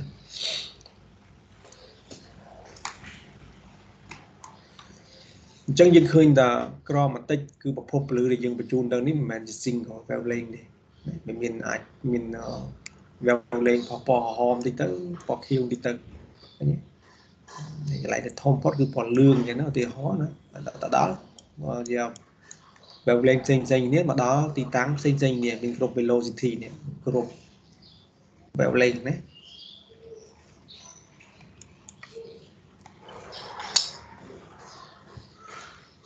ចឹងដដែល material dispersion និង waveguide dispersion អញ្ចឹង material dispersion ពីរហ្នឹងគឺនៅក្នុង chromatic ណាពីរហ្នឹងបូកបញ្ចូលគ្នា បាន chromatic dispersion អញ្ចឹង material គឺដោយសារតែ non linear រវាង refractive index ក្នុង core ជាមួយនឹង wavelength របស់ពលឺដល់ទៅពេល waveguide dispersion គឺដោយសារតែណា refractive index ពលឺដែលចូលទៅក្នុង core ហើយនឹង wave ហើយនឹង gladding ហ្នឹងហើយណា reflective profile នេះ ណាបើអាណារត់នៅក្នុងនេះវាលឿនជាងអានេះយឺតជាងអញ្ចឹងនៅក្នុងកន្លែង dispersion ណាយើងឃើញនេះ dispersion chromatic យើងឃើញនៅកន្លែង wavelength 13 10 nanometer នេះឃើញទេ13 10នេះយើងឃើញតែ monochromatic dispersion គឺទូចមែនតើឃើញទេទូចមែនតើ អញ្ចឹងយើងឃើញថាអឺប្រភពពលឺដែលយើងប្រើ wavelength មួយនេះគឺ very good ប៉ុន្តែដល់ពេលសម្រាប់15វិញ15វិញយើងឃើញតែ chromatic dispersion យើងអត់ទូចទេនេះធំទេឃើញទេអញ្ចឹងអាតិន្នន័យចុះហៅនៅអ្នកពិសោធន៍បានពិសោធន៍នឹងមើលឲ្យយើងហ្នឹងគូសមកបានតែមួយ graphic ប៉ុណ្ណឹងទេតិន្ន័យសង្ខេប ហើយយើងយកតិន្នន័យហ្នឹងមកយក apply ទៅលើបច្ចេកទេស communication របស់យើងនឹងឯងឃើញទេអញ្ចឹងបើយើងរើសពលឺយើងឃើញថា13 10ល្អ dispersion តិចមែនតើ15 5 chromatic dispersion ធំឡើងដល់ប្រហែលចិត្ត20 nano picosecond អូទូចមែនតើ picosecond តែបើអត់ហ្មងគាត់តែល្អនេះ ប៉ុន្តែ13 10នេះវា dispersion តិចមែន chromatic dispersion តិចមែនប៉ុន្តែ attenuation វាធំនៃ attenuation វាធំហៅថាអឺការបាត់បង់ធម៌ពល optical power ហ្នឹងច្រើនជាង1550អញ្ចឹង1550ហ្នឹងវាអត់ zero dispersion មែនប៉ុន្តែ wavelength ហ្នឹងគឺវាមានការបាត់បង់ធម៌ពលតិចពេលយើងដឹកជញ្ជូនអញ្ចឹងយើងនឹងមើលមូលហេតុទៀតថាតើហេតុអីបានវាតិចហេតុអីបានវាច្រើនស្ទើរមានមូលហេតុរបស់គេណា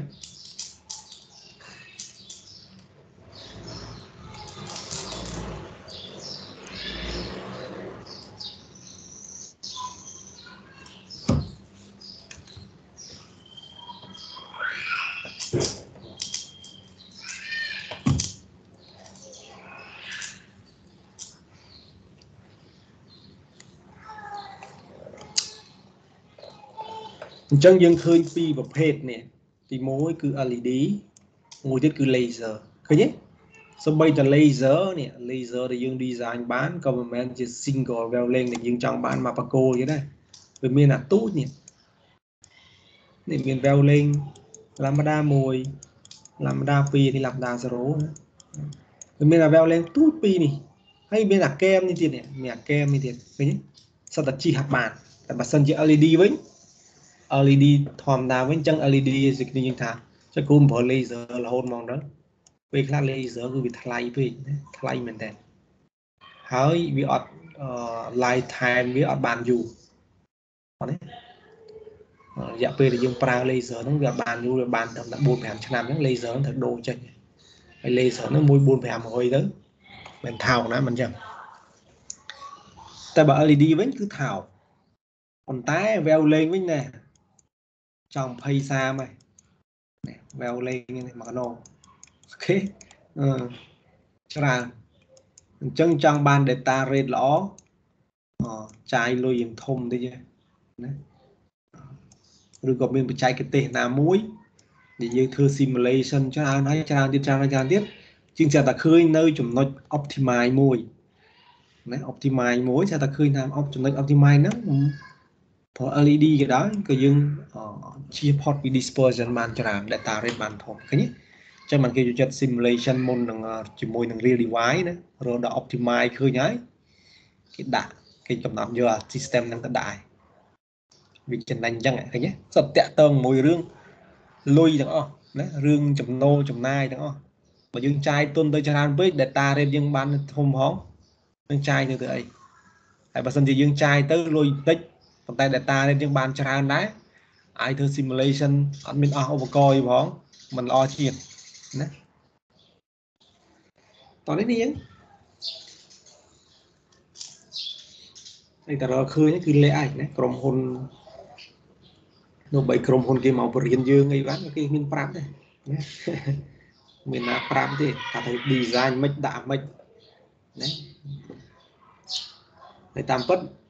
នៅក្នុងក្រុមហ៊ុនហ្នឹងគឺគេមើលទៅលើអ្នក research ទាំងអស់នៅក្នុង academic មកវិញអូខេខូចម្យ៉ាងម្នាក់ academic ហ្នឹងគេ publish research របស់គេទៅហើយម្នាក់បច្ចេកទេសក្នុងក្រុមហ៊ុនហ្នឹងឃើញហ្នឹងទៅយកមក application simulation មើលទៅអូត្រូវមែនអញ្ចឹងធ្វើតាមគេហ្នឹងទៅឈ្នះ dispersion ហើយចំណាយបាត់រៀតអស់ថោកទៀតឃើញទេអឺហើយលាក់ ណាហើយលាក់ឯងក្រុមហ៊ុនមួយមួយគឺលាក់ហ្មងអត់ចង់មកចេញទេ technology មួយមួយនោះណាអត់ចង់មកចេញឲ្យណាដឹងទេហើយកុំថាឡើយអញ្ជើញណាប្រធានក្រុមហ៊ុនអញ្ជើញអ្នកគ្រប់គ្រងមកបរៀនបរៀនពួកយើងហ្នឹងសួរថាបច្ចេកទេសគាត់ប្រាប់គាត់ថាគាត់បច្ចេកទេសសួរថាបច្ចេកទេសកន្លែងហ្នឹងសំខាន់សួរគាត់ប្រាប់អត់តែគាត់ប្រាប់ដូចបោកឆ្នាំងបាយគាត់ចោលអញ្ចឹងតោះនេះ តោះនេះនេះសំបីតែនៅក្នុងក្រុមហ៊ុនធំធំជាច្រើន តាមពិតមនុស្សម្នាក់ហ្នឹងអាចធ្វើធ្វើបាន software ក៏បាន hardware ក៏បានណាធ្វើបានដល់ទាំងពីរប៉ុន្តែគេអត់ឲ្យកាន់ទាំងពីរទេគេឲ្យកាន់ផ្នែកណាមួយដាច់ដើម្បីគេលាក់បើតែហ្នឹងចេះ hardware software អត់ដឹងក៏មិនដឹងធ្វើម៉េចឃើញទេឃើញទេគេញែកគ្នាចឹងគេញែកផ្នែកផ្នែកទូចទូចទៀតណាធ្វើ GSM ទៅធ្វើខាង electronic ទៅណា តោះនេះនេះយើងចេះបែករឿងទៅទៀតឬហ៊ុននិយាយទេបាទគ្រូ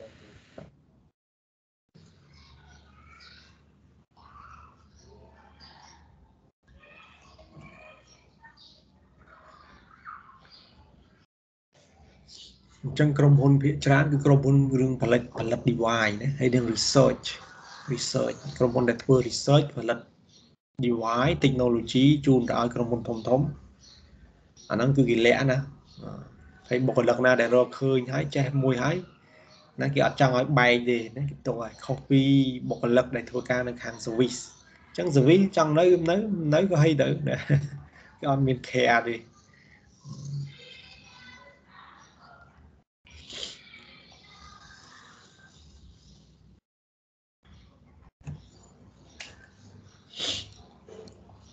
អញ្ចឹងអានេះគឺជា refractive index របស់ silica ណា silicon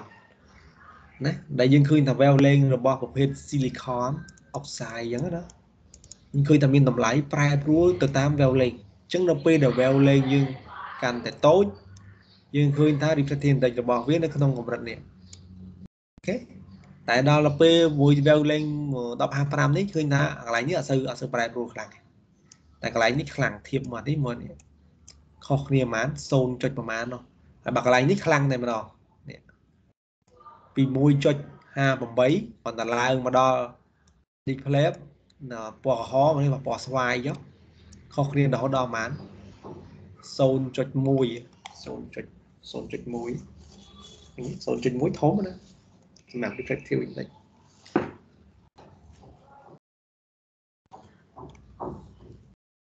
អូខេ អញ្ចឹងនៅពេលដែល wavelength ផ្សេងគ្នាធ្វើដំណើរនៅក្នុងខវាមានល្បឿនផ្សេងផ្សេងគ្នាអញ្ចឹងល្បឿនដែលមកដល់មុនមកដល់ក្រោយហ្នឹងគេចងជាមួយបាច់គេឲ្យឈ្មោះថា group velocity អញ្ចឹងល្បឿនណាគឺ group velocity មាន phase velocity ក្នុងទៀតអញ្ចឹង phase ជាអីគេ phase យើងធ្លាប់វាណា signal យើងចេញមកនេះអញ្ចឹងគាត់ថាបកគោយើងចាប់ដើមចេញកន្លែងនេះអញ្ចឹងទីតាំងកន្លែងនេះស្អីគេនេះ ចឹងចាប់ដើមអញ្ចឹង face របស់គាត់ប្រហែលចេញពីនេះណាអញ្ចឹងបើចេញពីនេះគឺជា0 face របស់គាត់0 degree ហើយបើសិនជាគាត់ចេញពីក្រោមទៅវិញចេញពីក្រោមទៅវិញជាង face របស់គាត់គឺប្រហែល108អញ្ចឹងគេមើលមិនគេមើលនៅត្រង់កន្លែងចំណុច0នេះតើវាប៉ះនៅកន្លែងណាបើប៉ះកដាលនេះកដាលនេះគឺ90 degree កន្លែងនេះគឺ108ហើយកន្លែងនេះគឺ360 ទេចុះដល់កន្លែងកដានេះ45អូខេគេមើលចឹងអូខេហើយបើសិនជា2ណា signal 2 2ចេះហើយគេសួរ signal ទី1ទី2អាណា phase មកលឿនជាងអាណា phase យឺតជាងឃើញទេណាចេញលឿនណាចេញយឺតណានេះយើង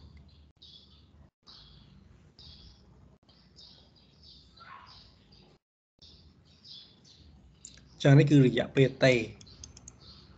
នេះគឺ amplitude ណាអញ្ចឹងបើយើងមើល face ណាលឿនជាង គឺយើងមើលមើលគេយើងមើលកន្លែងនេះក៏ដឹងដែរយើងមើលលំដាប់នៃរយៈពេលនេះថារយៈពេលកន្លែងនេះមក0 1អញ្ចឹងអានេះនៅកណៈឆ្នាំ2000អានេះកើតមកបាត់ហើយនេះ ឃើញទេអញ្ចឹង face អា pha graphic ទី1នេះមកលឿន face ជាងឆ្នាំ2001បាន graphic ទី2នេះចេញតាមក្រោយឃើញទេអាហ្នឹងអានេះលឿន face ជាងអ្នកទី1នេះអូខេមួយយ៉ាងហ្នឹងក៏បានដែរស្រួលអញ្ចឹង group velocity face velocity យើងឃើញនៅមួយគ្នាអញ្ចឹងគេចង់និយាយពីអីគេអញ្ចឹងយើងមើលបដាបដាចឹងអត់មានអីទៀតទេមានតែឃើញឃើញហើយនេះនៅកន្លែងនេះគេចែកដែរនេះ FWHM full width half maximum ចឹងគេតាមដោយ data lambda នៅកន្លែងនេះណាហើយ lambda 0យើងនៅកន្លែងនេះហើយនេះគឺ reflective index ដែលវាបានបំរែបំរួលជាមួយនឹង wavelength ប្រែប្រួលទៅតាម wavelength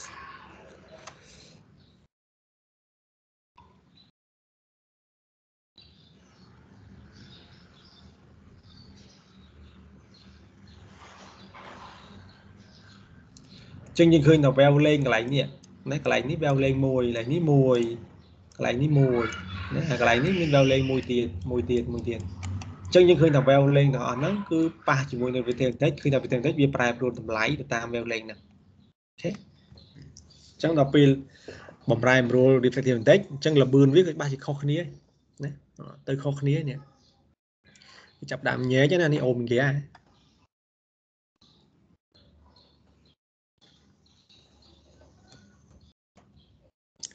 า angular frequency អញ្ចឹងវាមើលវាលេងទី2ដកទី1អញ្ចឹងទៅណាដើម្បីមើលថាយ៉ាងម៉េច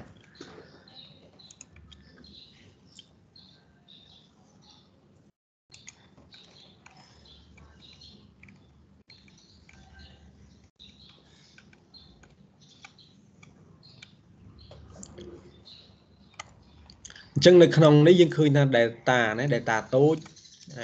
angular frequency ណា angular frequency យើងរកទៅឃើញ f ដូចគ្នាទេណាព្រោះ angular frequency គឺជា radian ក្នុង1វិនាទីអញ្ចឹង 2 pi នៅលើតេអូខេអូមេហ្គាស្មើ 2 pi លើតេអញ្ចឹង frequency យើងស្មើប៉ុន្មានអូមេហ្គាចែកជាមួយនឹង 2 pi អូខេហើយ lambda យើងស្មើគេ C នៅលើ F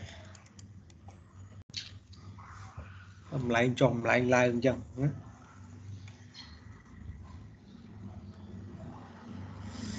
អញ្ចឹងនៅក្នុងនៅក្នុងរូបភាពមួយហ្នឹងយើងឃើញថាមាន wavelength ផ្សេងផ្សេងផ្សេងគ្នានៅក្នុងហ្នឹងអ្វីសំខាន់មួយទៀតយើងឃើញថាពលឺណាពលឺគេតាំងមកជា electromagnetic នេះជាសមីការ electromagnetic wave ណាដែលមានភាគច្រើនជា electric field អញ្ចឹងគេសរសេរ E ហើយពលឺហ្នឹងធ្វើចលនាតាមទិសដៅគឺ Z ណាគេតាណា radio frequency នេះអញ្ចឹងយ៉ាងម៉េចកន្លែងនេះសម័យកាល electromagnetic wave យើងឃើញនៅពេលដែលគេសរសេរសម័យកាលនឹងឡើងតើតានៅក្នុងសម័យកាលហ្នឹងបានប្រាប់យើងអីខ្លះនេះយើងដឹងទេ និយាយ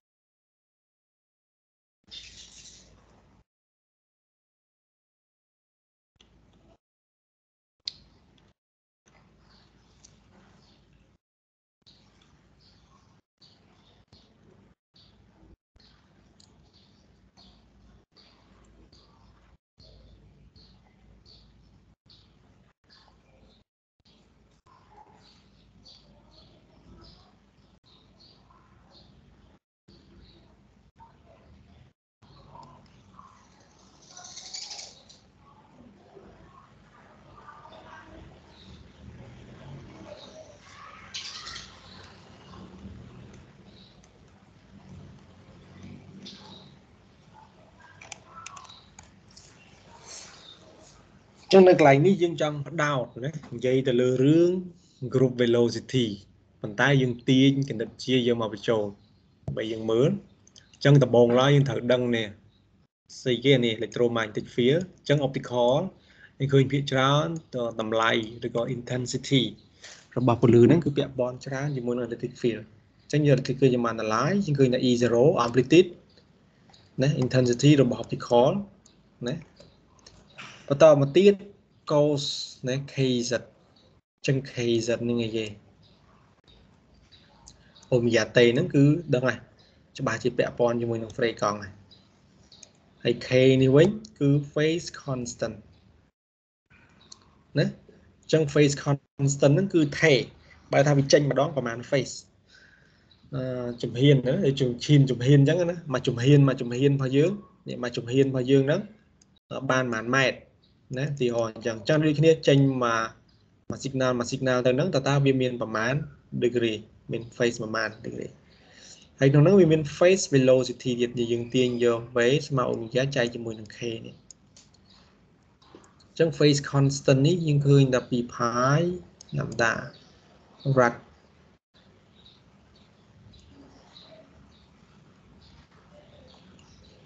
នេះរ៉ាត់យ៉ងណា រ៉ាត់យ៉ងក្នុង1ម៉ែត្រណាអានេះរ៉ាត់យ៉ងក្នុង1វិនាទីអានេះរ៉ាត់យ៉ងក្នុង1ម៉ែត្រអញ្ចឹងគិតជាម៉ែត្រក្នុង1វិនាទីលបឿនណាឃើញទេអូមេហ្គាឬ k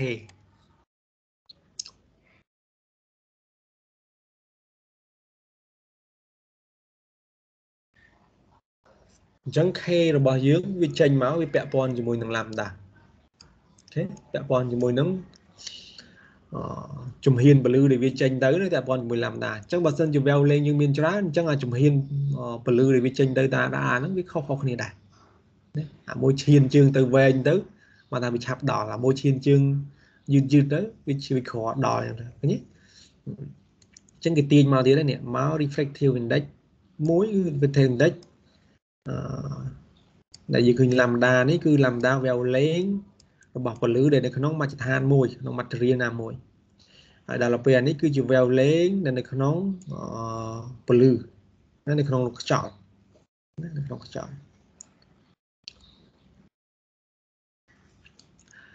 អញ្ចឹងយើងឃើញថា k នេះគេទាញបានគេទាញបាន nk0 អញ្ចឹង k0 ហ្នឹងគឺអឺគឺស្មើគេ k0 2 pi 2 pi lambda 0នេះឃើញនៅក្នុងលំហអាកាសណាជំហានលើក្នុងលំហអាកាសអញ្ចឹង k នេះជំហានទៅលើដែរ phase constant ដែរនៅក្នុង material ណាមួយអញ្ចឹងដែរអញ្ចឹង free space phase constant អូខេអញ្ចឹងយើងឃើញថានេះ transverse electromagnetic wave នេះដែលមាន electric field និង magnetic field អញ្ចឹងពលឺក៏ដូចគ្នាដែរគេយក electromagnetic wave មកសិក្សាជាមួយនឹងពលឺពលឺក៏មានក៏ជាផ្នែក ក៏នៅក្នុង electromagnetic wave នឹងដែរអូខេតោះនេះអញ្ចឹងគ្រាន់តែឃើញអានឹងភ្លាម ចាំទៅដល់លោកអីនេះយើង Maxwell equation អញ្ចឹងលោក Maxwell equation ហ្នឹងហើយជាអ្នកបង្កើតនៅច្បាប់ប្រមាណសម័យកាលនោះ4សម័យកាលនោះណា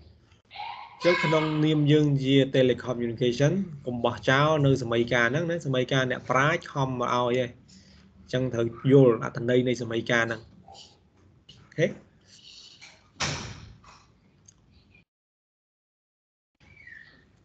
អញ្ចឹងនៅក្នុងរូបមិញអញ្ចឹងយើងឃើញមានអូមេហ្គា1អូមេហ្គា2ឡើងនេះអញ្ចឹងមកថា wavelength ទី1និង wavelength ទី2អញ្ចឹងគឺចាប់ដើមទៅសេរលក electric field ហ្នឹងចេញនេះជាមួយនឹង K1 K2 ឃើញទេវាមាន phase constant វាខុសគ្នាព្រោះនេះ lambda 1អានេះ1 lambda 2មួយហើយគេបូកបញ្ចូលគ្នាណាបូកបញ្ចូលគ្នាយើងឃើញថា K1 K2 នេះបូកបញ្ចូលគ្នាឃើញទេអញ្ចឹងបូកបញ្ចូលគ្នាយ៉ាងម៉េចកន្លែងនេះកោកោណាយើងមើលសមីការត្រីកោណមៀតទៅអញ្ចឹងដល់ពេលបូកបញ្ចូលគ្នាយើងឃើញថាណាអាមួយគណិតអាមួយគណិតជាអាមួយយើងយកមកនិយាយ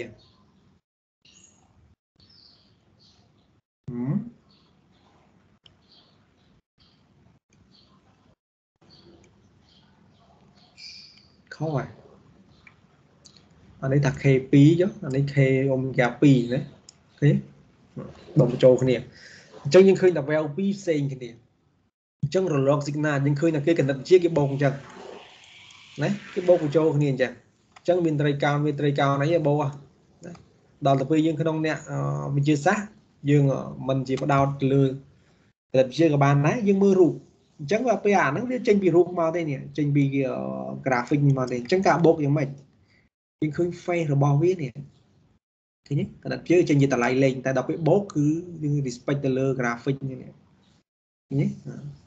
អញ្ចឹងយើងឃើញថានៅពេលមួយដែល face របស់វានេះអានេះឡើងលើវាថាកន្លែងនេះ0ណាអានេះ0អានេះគឺបូក បូក10សាប់ដល់ទៅពេល value ទី2នេះវិញវាដក10អញ្ចឹងកន្លែងហ្នឹងបើបញ្ចូលគ្នាគឺវាស៊ីសងគ្នាអស់ហើយគាត់ណាកន្លែងនេះគេឲ្យឈ្មោះថា destructive interference ស៊ីសងគ្នាប៉ុន្តែបើ phase វាត្រូវគ្នានេះ phase កន្លែងនេះត្រូវគ្នាកន្លែងនេះក៏ត្រូវគ្នាកន្លែងនេះក៏ត្រូវគ្នាកន្លែងនេះក៏ត្រូវគ្នាត្រូវគ្នាបើថាអាកន្លែងនេះ90 degree អា graphic DB ក៏90 degree អញ្ចឹងបូកចូលនេះមកវាទៅជាយ៉ាងម៉េច constructive interference ធ្វើឲ្យ signal យើងកើនឡើងទៅវិញណាអានេះស៊ីសងគ្នាអានេះកើនឡើងតោះនេះអញ្ចឹងដូចគ្រូនិយាយមិញអញ្ចឹងថា reflection ច្រើនដងណាអញ្ចឹងដល់ពេល ray មួយមកដល់ជុំគ្នាថាកន្លែងនេះវាមកដល់ជុំគ្នាអញ្ចឹងកន្លែងហ្នឹងវាធ្វើឲ្យមិនកើនឡើងណាធ្វើឲ្យ signal យើង broad ដែរប៉ុន្តែមាន maximum ឡើងយ៉ាងអូខេអញ្ចឹងអានេះ graphic ដល់ទៅពេលអានេះគេបូកហ្នឹង កុក alpha beta នេះចេញមកណាបូកកណនីចុះមកយើងឃើញបាន k1 បូក k2 នៅកន្លែងនេះ omega 1 omega 2ណាអញ្ចឹងយើងតាំង kp ណាអានេះវិញគឺ omega p អញ្ចឹង kp នេះគឺ phase ណាអានេះគឺ phase អានេះគឺ group នេះអញ្ចឹង k1 ដកយើងឲ្យឈ្មោះថា group group ដកគ្នាបានអាស៊ីសងគ្នានេះនៅពេលដែលដកគ្នា destructive ណាតែបើវាបូកយកគ្នា constructive បានថា face វាត្រូវ face គ្នានេះគេដាក់ថា KP ត្រូវ face គ្នាតោះនេះ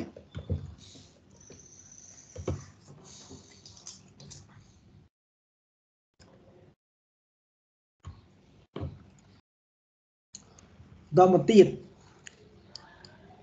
ណាគេទទួលបាននៅសម័យកាលថ្មីអញ្ចឹងអាអា intensity របស់ optical នេះកន្លែងនេះវាទៅជា2ណាពី E0 ទាំងគេតាំង E bar នេះណាអញ្ចឹងដល់ទៅពេលគេតាំងមកគេស្រួលតែបើសិនតែក្រុមនេះសិតអីនេះអ៊ុំយ៉ាមួយដកនេះសិតដកណាអានេះសិតបូកណាចាំអញ្ចឹងអា face នេះគឺត្រូវ face នេះវាបូកអាក្រុមនេះសាមពីមកផ្សេងផ្សេងគ្នាទៅមានក្រុម velocity អញ្ចឹងសិតដកគ្នា ស៊ីសងគ្នាណាអញ្ចឹងយើងឃើញថាអូមេហ្គា1អូមេហ្គា2វាវាមានតម្លៃវាមិនសូវខុសគ្នាខ្លាំងណាបើមិនសូវខុសគ្នាខ្លាំងណាឧទាហរណ៍នេះនៅកន្លែងនេះគេថានៅក្បែរគ្នាពេកវាមិនសូវខុសគ្នាពេលខ្លះញែកឥឡូវគេសន្មត់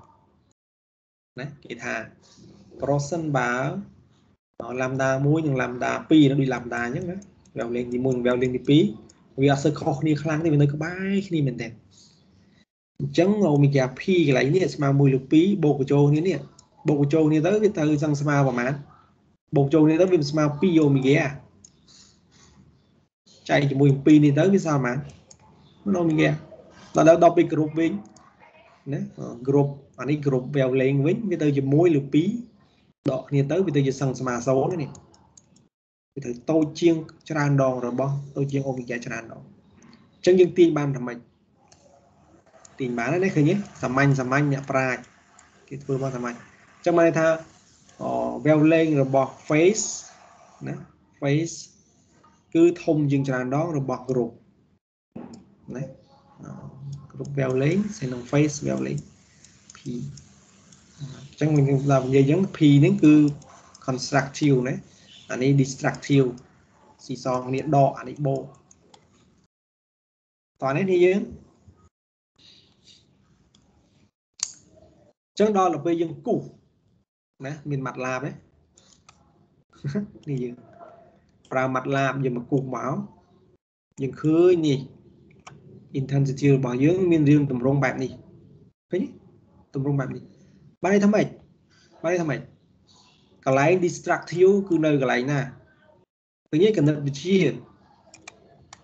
constructive នៅអូ constructive នេះត្រូវហើយ constructive នៅកន្លែងណាខ្ពស់ខ្ពស់នេះ constructive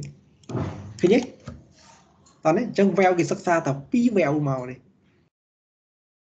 ជំនាញដល់សិក្សាតែ value លេង2របស់ប្រភពពលឺតែ2មកដើម្បីមើល group velocity យើងឃើញទម្រង់បែបហ្នឹង ឃើញទេ group velocity destructive គឺនៅកន្លែងនេះផ្លុតទៅយើងឃើញម្ដុំនឹងឃើញ port អស់ហើយស៊ីសងនេះអស់ដល់ទៅពេលកន្លែងនេះស្អីគេឡើងខ្ពស់អូខេបញ្ចូលគ្នាទៅវាទៅទម្រង់បែបហ្នឹងណាទៅទម្រង់ value មួយប្រភេទព្រមរៀងបែបហ្នឹងហើយដល់ទៅពេលរៀងបែបហ្នឹងគេចាប់ដើមអង្កេតមើលគេថាម៉េចអឺហឺអានេះ envelope នេះក្តោបអានេះអ្នកក្តោប envelope carrier អ្នកបញ្ជូន carrier លេងណា carrier គឺអានេះអញ្ញឹកនេះឃើញវាទៅជា envelope អ្នក envelope អា carrier នេះអញ្ចឹងស្អីគេគ្នាយើង modulation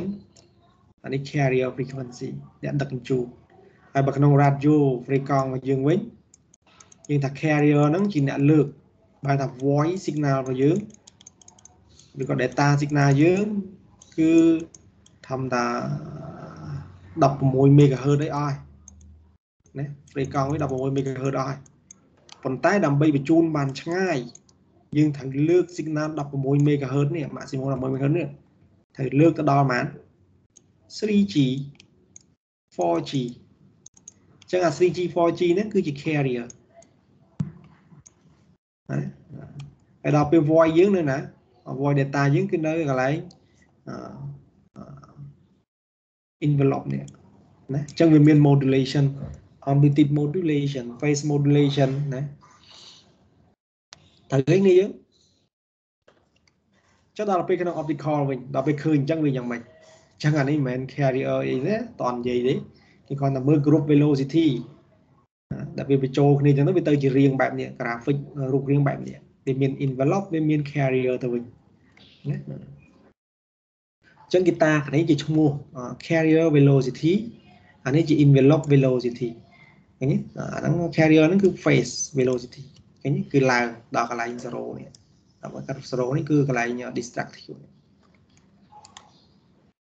ចឹង phase velocity វាស្មើជាមួយនឹង omega pk2 នេះអូខេចឹងបូកចូលគ្នាចឹងស្មើ omega លើ k ហើយដល់ទៅពេល envelope velocity envelope វិញវាមានបំរែបំរួលអូខេ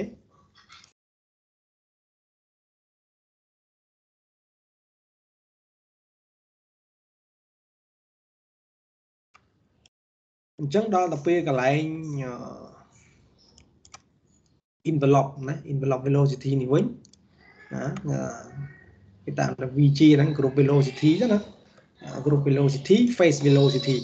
ហើយយើងដឹង group velocity សស៊ីសងគ្នាមានបំរែបំរួល carrier នេះនឹងនឹងកើនឡើងណាអញ្ចឹងកន្លែងនេះយើងឃើញថាគេដកគ្នានេះ destructive នេះអញ្ចឹងវាកន្លែងដកទៅមើលទៅយំនៃ d derivate អញ្ចឹង d omega ឬ dk ឃើញទេចេញពីបាតុភូតមកសម័យកាសម័យកាសរសេរមកគឺដើម្បីទៅរកបាតុភូតណា graphic ក្រៃទៅចេញមក អញ្ចឹងដល់ពេល plot ជារូរើមកយើងឃើញថានេះអ្វីដែលគេទៅរូបាននេះ group velocity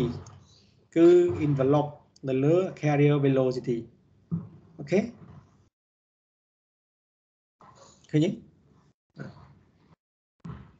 ចឹងនៅពេល group velocity ហ្នឹងកន្លែងនេះគឺធ្លាក់ចុះសង0នៅកន្លែងនេះគឺ destructive វាខ្លាំងស៊ីសងគ្នាសឹងអស់ណានៅកន្លែង graphic នេះពេល value វាមកកន្លែង destructive ដែរអូខេ copy face គ្នា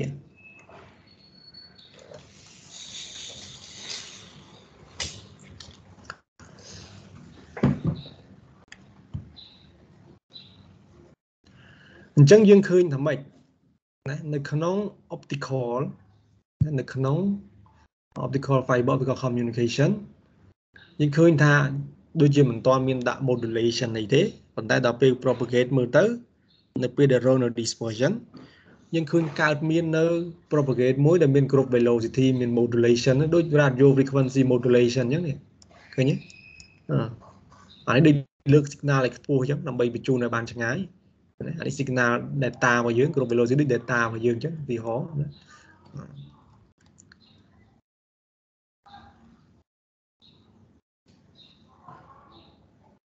អញ្ចឹងគេប្រាប់ថាម៉េចគេប្រាប់ថានៅក្នុងនេះវាខុសគ្នាណា នៅក្នុង envelope នេះ group velocity នេះតាមពិតនៅក្នុង real physical គឺអត់មានទេ វាគ្រាន់តែបង្ហាញពីអាអា slope នេះអា slope នៃ interference នេះកន្លែង maximum ធ្លាក់ចុះមកទៀបវិញនេះតោះនេះវាបង្ហាញប៉ុណ្្នឹងទេអូខេបន្តមកទៀតយើងចាប់ដើមមកមើលនៅសម័យកាលបន្តទៀតដាច់ភាគកន្លែងនេះធម្មនេះណា wave phase omega ឬ k នេះ phase velocity omega ឬ k ណាដល់ទៅពេល group velocity day away នេះបំរែបំរួល day omega ឬ day k ហើយបន្តមកទៀតយើងឃើញកន្លែងនេះគេរក omega វិញយើងដឹងហើយនេះ wave p ស្មើ omega ឬ k ឥឡូវរក omega វិញហើយយើងទៅជំនួសចូលគ្នាណាបញ្ចូលគ្នាអូខេអញ្ចឹងបញ្ចូលអានេះទៅក្នុងនេះ ហើយ derivate derivate ធៀបនឹងអញ្ញត្តិ k មកឃើញទេអញ្ចឹងវាបានទំនាក់ទំនង vp បូក k d នេះអូខេត្រូវនេះត្រូវពូ derivate ទៅអានេះ kp អានេះជាប់នេះជាប់អក្រោយនេះទៀត dvp ឬ dk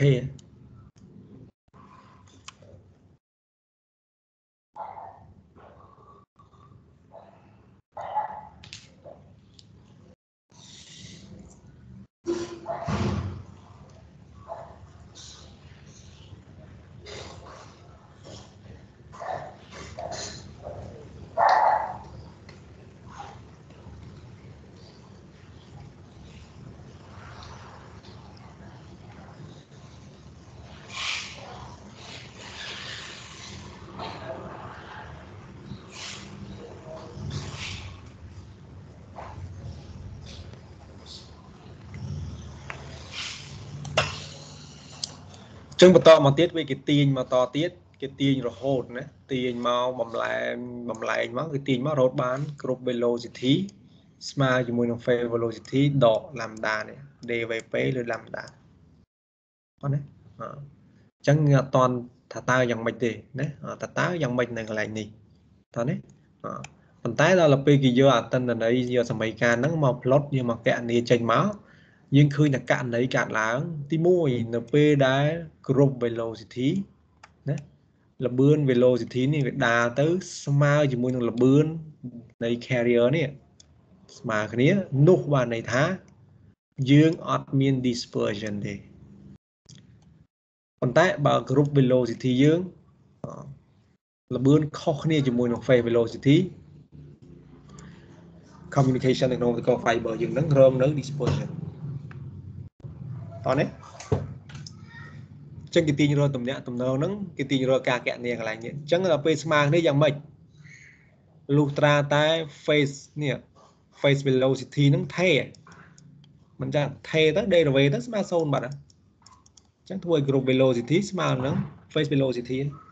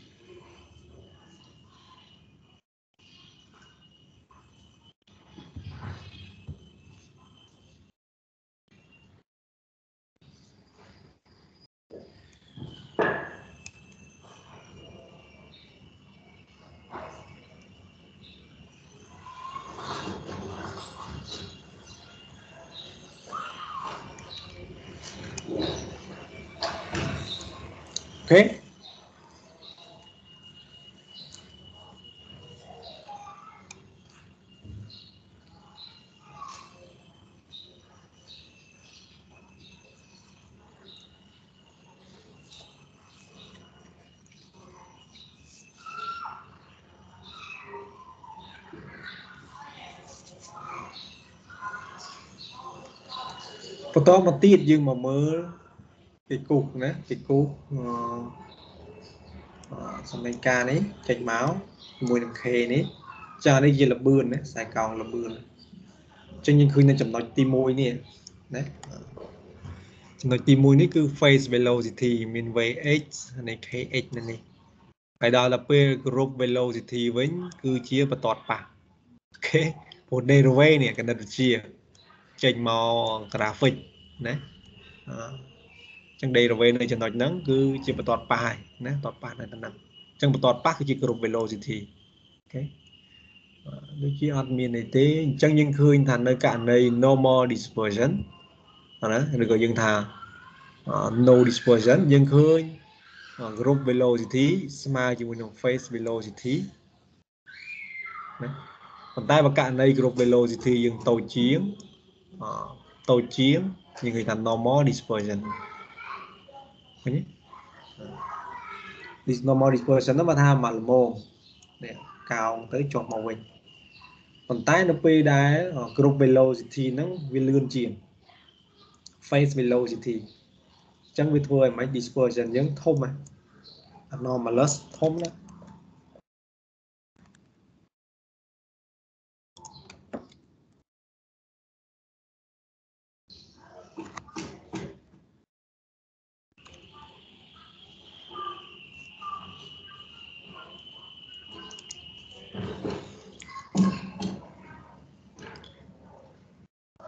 ចឹង group velocity លឿនជាងយើងសាកសម័យមកវាលឿនជាងយ៉ាងម៉េចនេះយើងសាកសម័យនេះមកអានេះវាដើរទៅលឿននេះតែដល់ពេលអានេះ phase velocity ក្នុងនេះយឺតសាកសម័យមកសម័យវាអត់ចេញដែរនេះរឿង graphic សម័យអត់ចេញដល់មើល array power លឺមកចឹងនៅកន្លែងនេះយើងឃើញនេះឃើញ phase velocity ស្មើ group velocity ឃើញទេ phase velocity ស្មើ group velocity យើងឃើញថា no dispersion អត់មានចូល dispersion ទេករណីដែលគេចាប់បានបកស្រាយនេះធ្វើមកករណីអត់មាន dispersion លុះត្រាតែ phase velocity ស្មើ group velocity ករណីនោះស្មើនេះមានថាអត់មាន dispersion ទេណា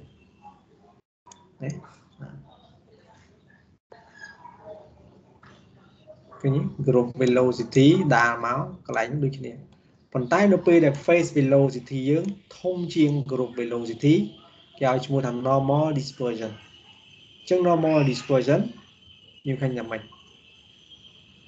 dispersion កើតមានតាមធម្មតា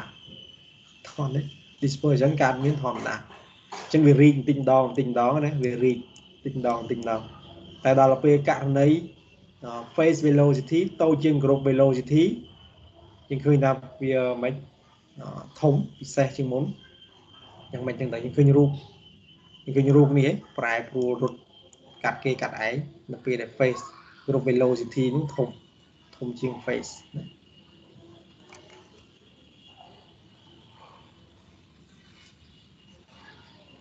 ណាយើងឃើញ graphic ឃើញតែប៉ុណ្្នឹង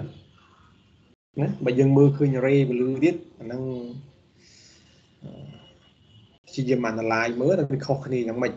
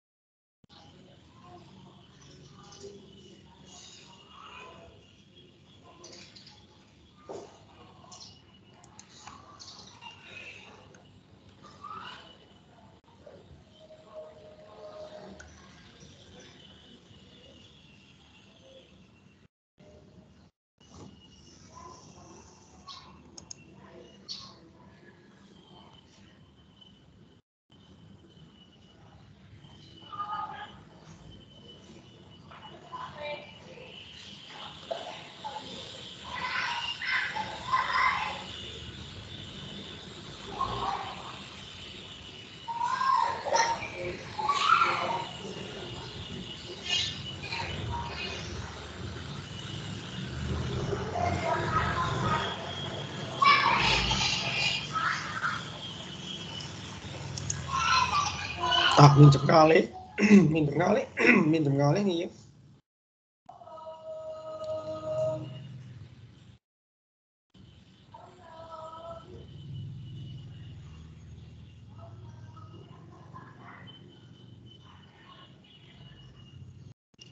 ណាបើយើងមើលតាមធម្មតាដូចជារូបនេះយើងឃើញអឺ face នេះ face velocity នេះក៏រត់នៅក្នុង group velocity group velocity រត់យឺតប៉ុន្តែ face យើងរត់នៅក្នុងហ្នឹងតែដល់ទៅពេលអឺ group velocity លឿនជាងយើងឃើញថា velocity ហ្នឹងរត់រត់ចោល face តែម្ដងរត់ចូល face velocity តែម្ដងឃើញទេរត់ចោល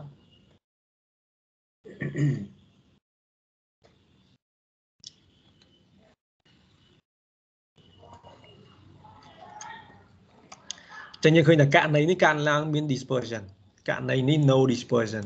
តែប៉ុណ្ណឹងណាអានេះមាន dispersion គាត់ថា dispersion នេះប្លែកណាប្លែកខុសគេអានេះធម្មតាណា dispersion កើតឡើងជាធម្មតាតែណាគ្រប់ហ្នឹងវារីកទៅរីកទៅណាផាយើងវារីកទៅអូខេ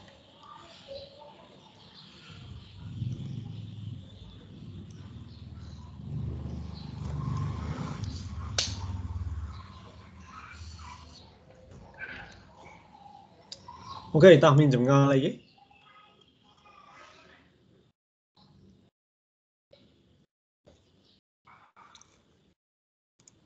ចឹងមើលទៅ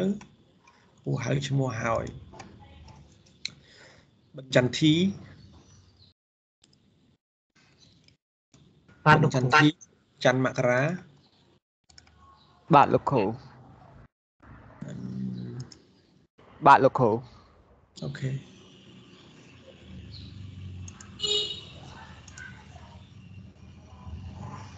ច័ន្ទមករាបាទលោកគ្រូបាទលោកគ្រូអូខេចេញនីតាចាលោកគ្រូយឹងសុផាន់យឹងសុបញ្ញាបាទលោកគ្រូ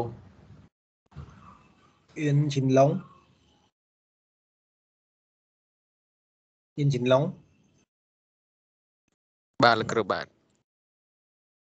ហេងគឹមថងហេងគឹមថង ហេងកុសលបាទលោកគ្រូឡាចាលោកគ្រូអឺហេងសុកចម្រើនបាទលោកគ្រូសៅឌីបាទលោកគ្រូ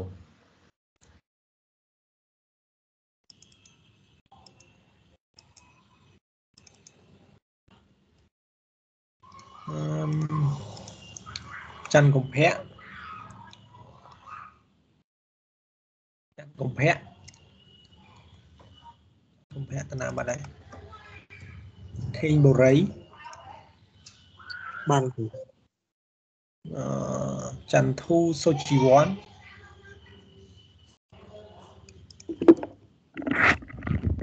លោកគ្រូលើខ្ញុំនិយាយលោកគ្រូលឺលឺបាទខ្ញុំកំភៈលោកគ្រូ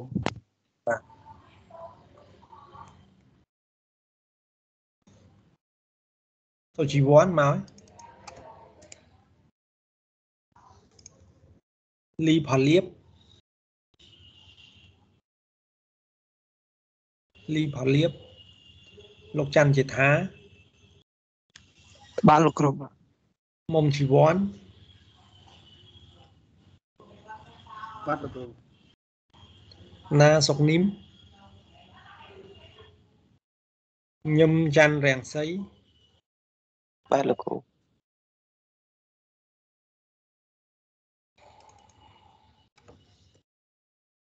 ញឹមថាចញឹមថាចមកហើយ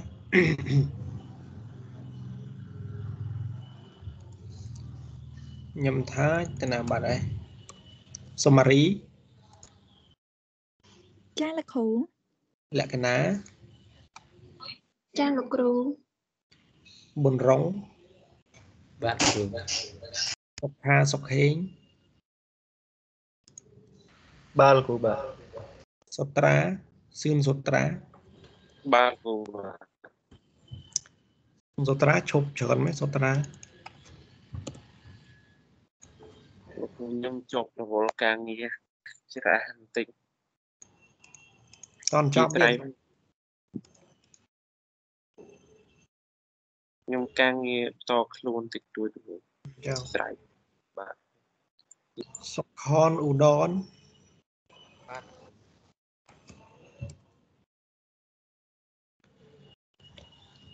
សុខនឧដរមកហ៎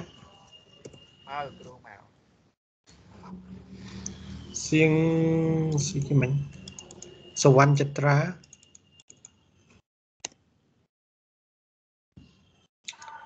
ស្រៀងសវណ្ណចត្រាទូនពិសិដ្ឋ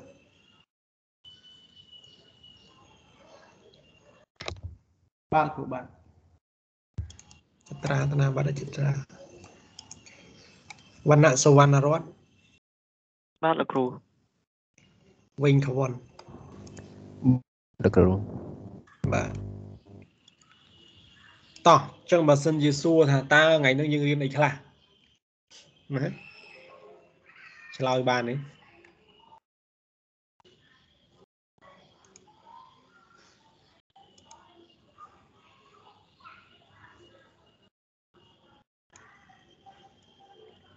ពិសិដ្ឋពិសិដ្ឋឆ្លើយបានទេទូនពិសិដ្ឋ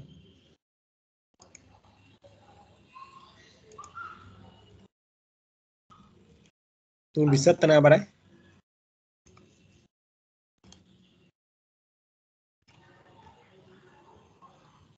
ឆ្លើយមកថ្ងៃនេះយើងរៀនអីខ្លះថ្ងៃនេះអឺយើងរៀនគឺ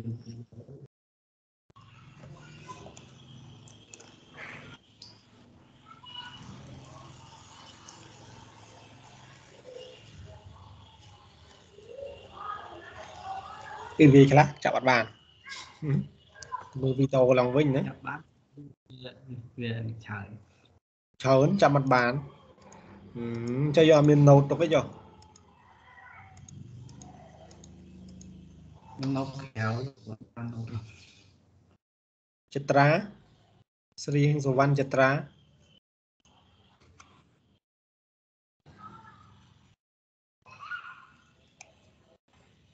ចេញបាត់ហើយតោះណឲ្យបងអ្នកខ្លះចេញតែបាត់ហ៎ ហឹមកុំសា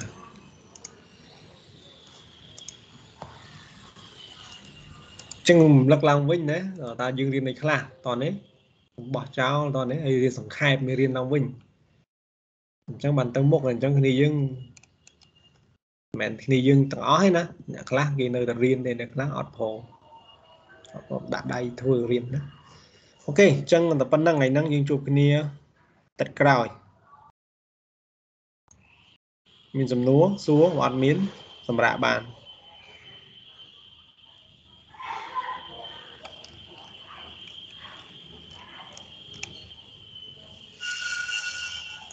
អត់មានទេគ្រូ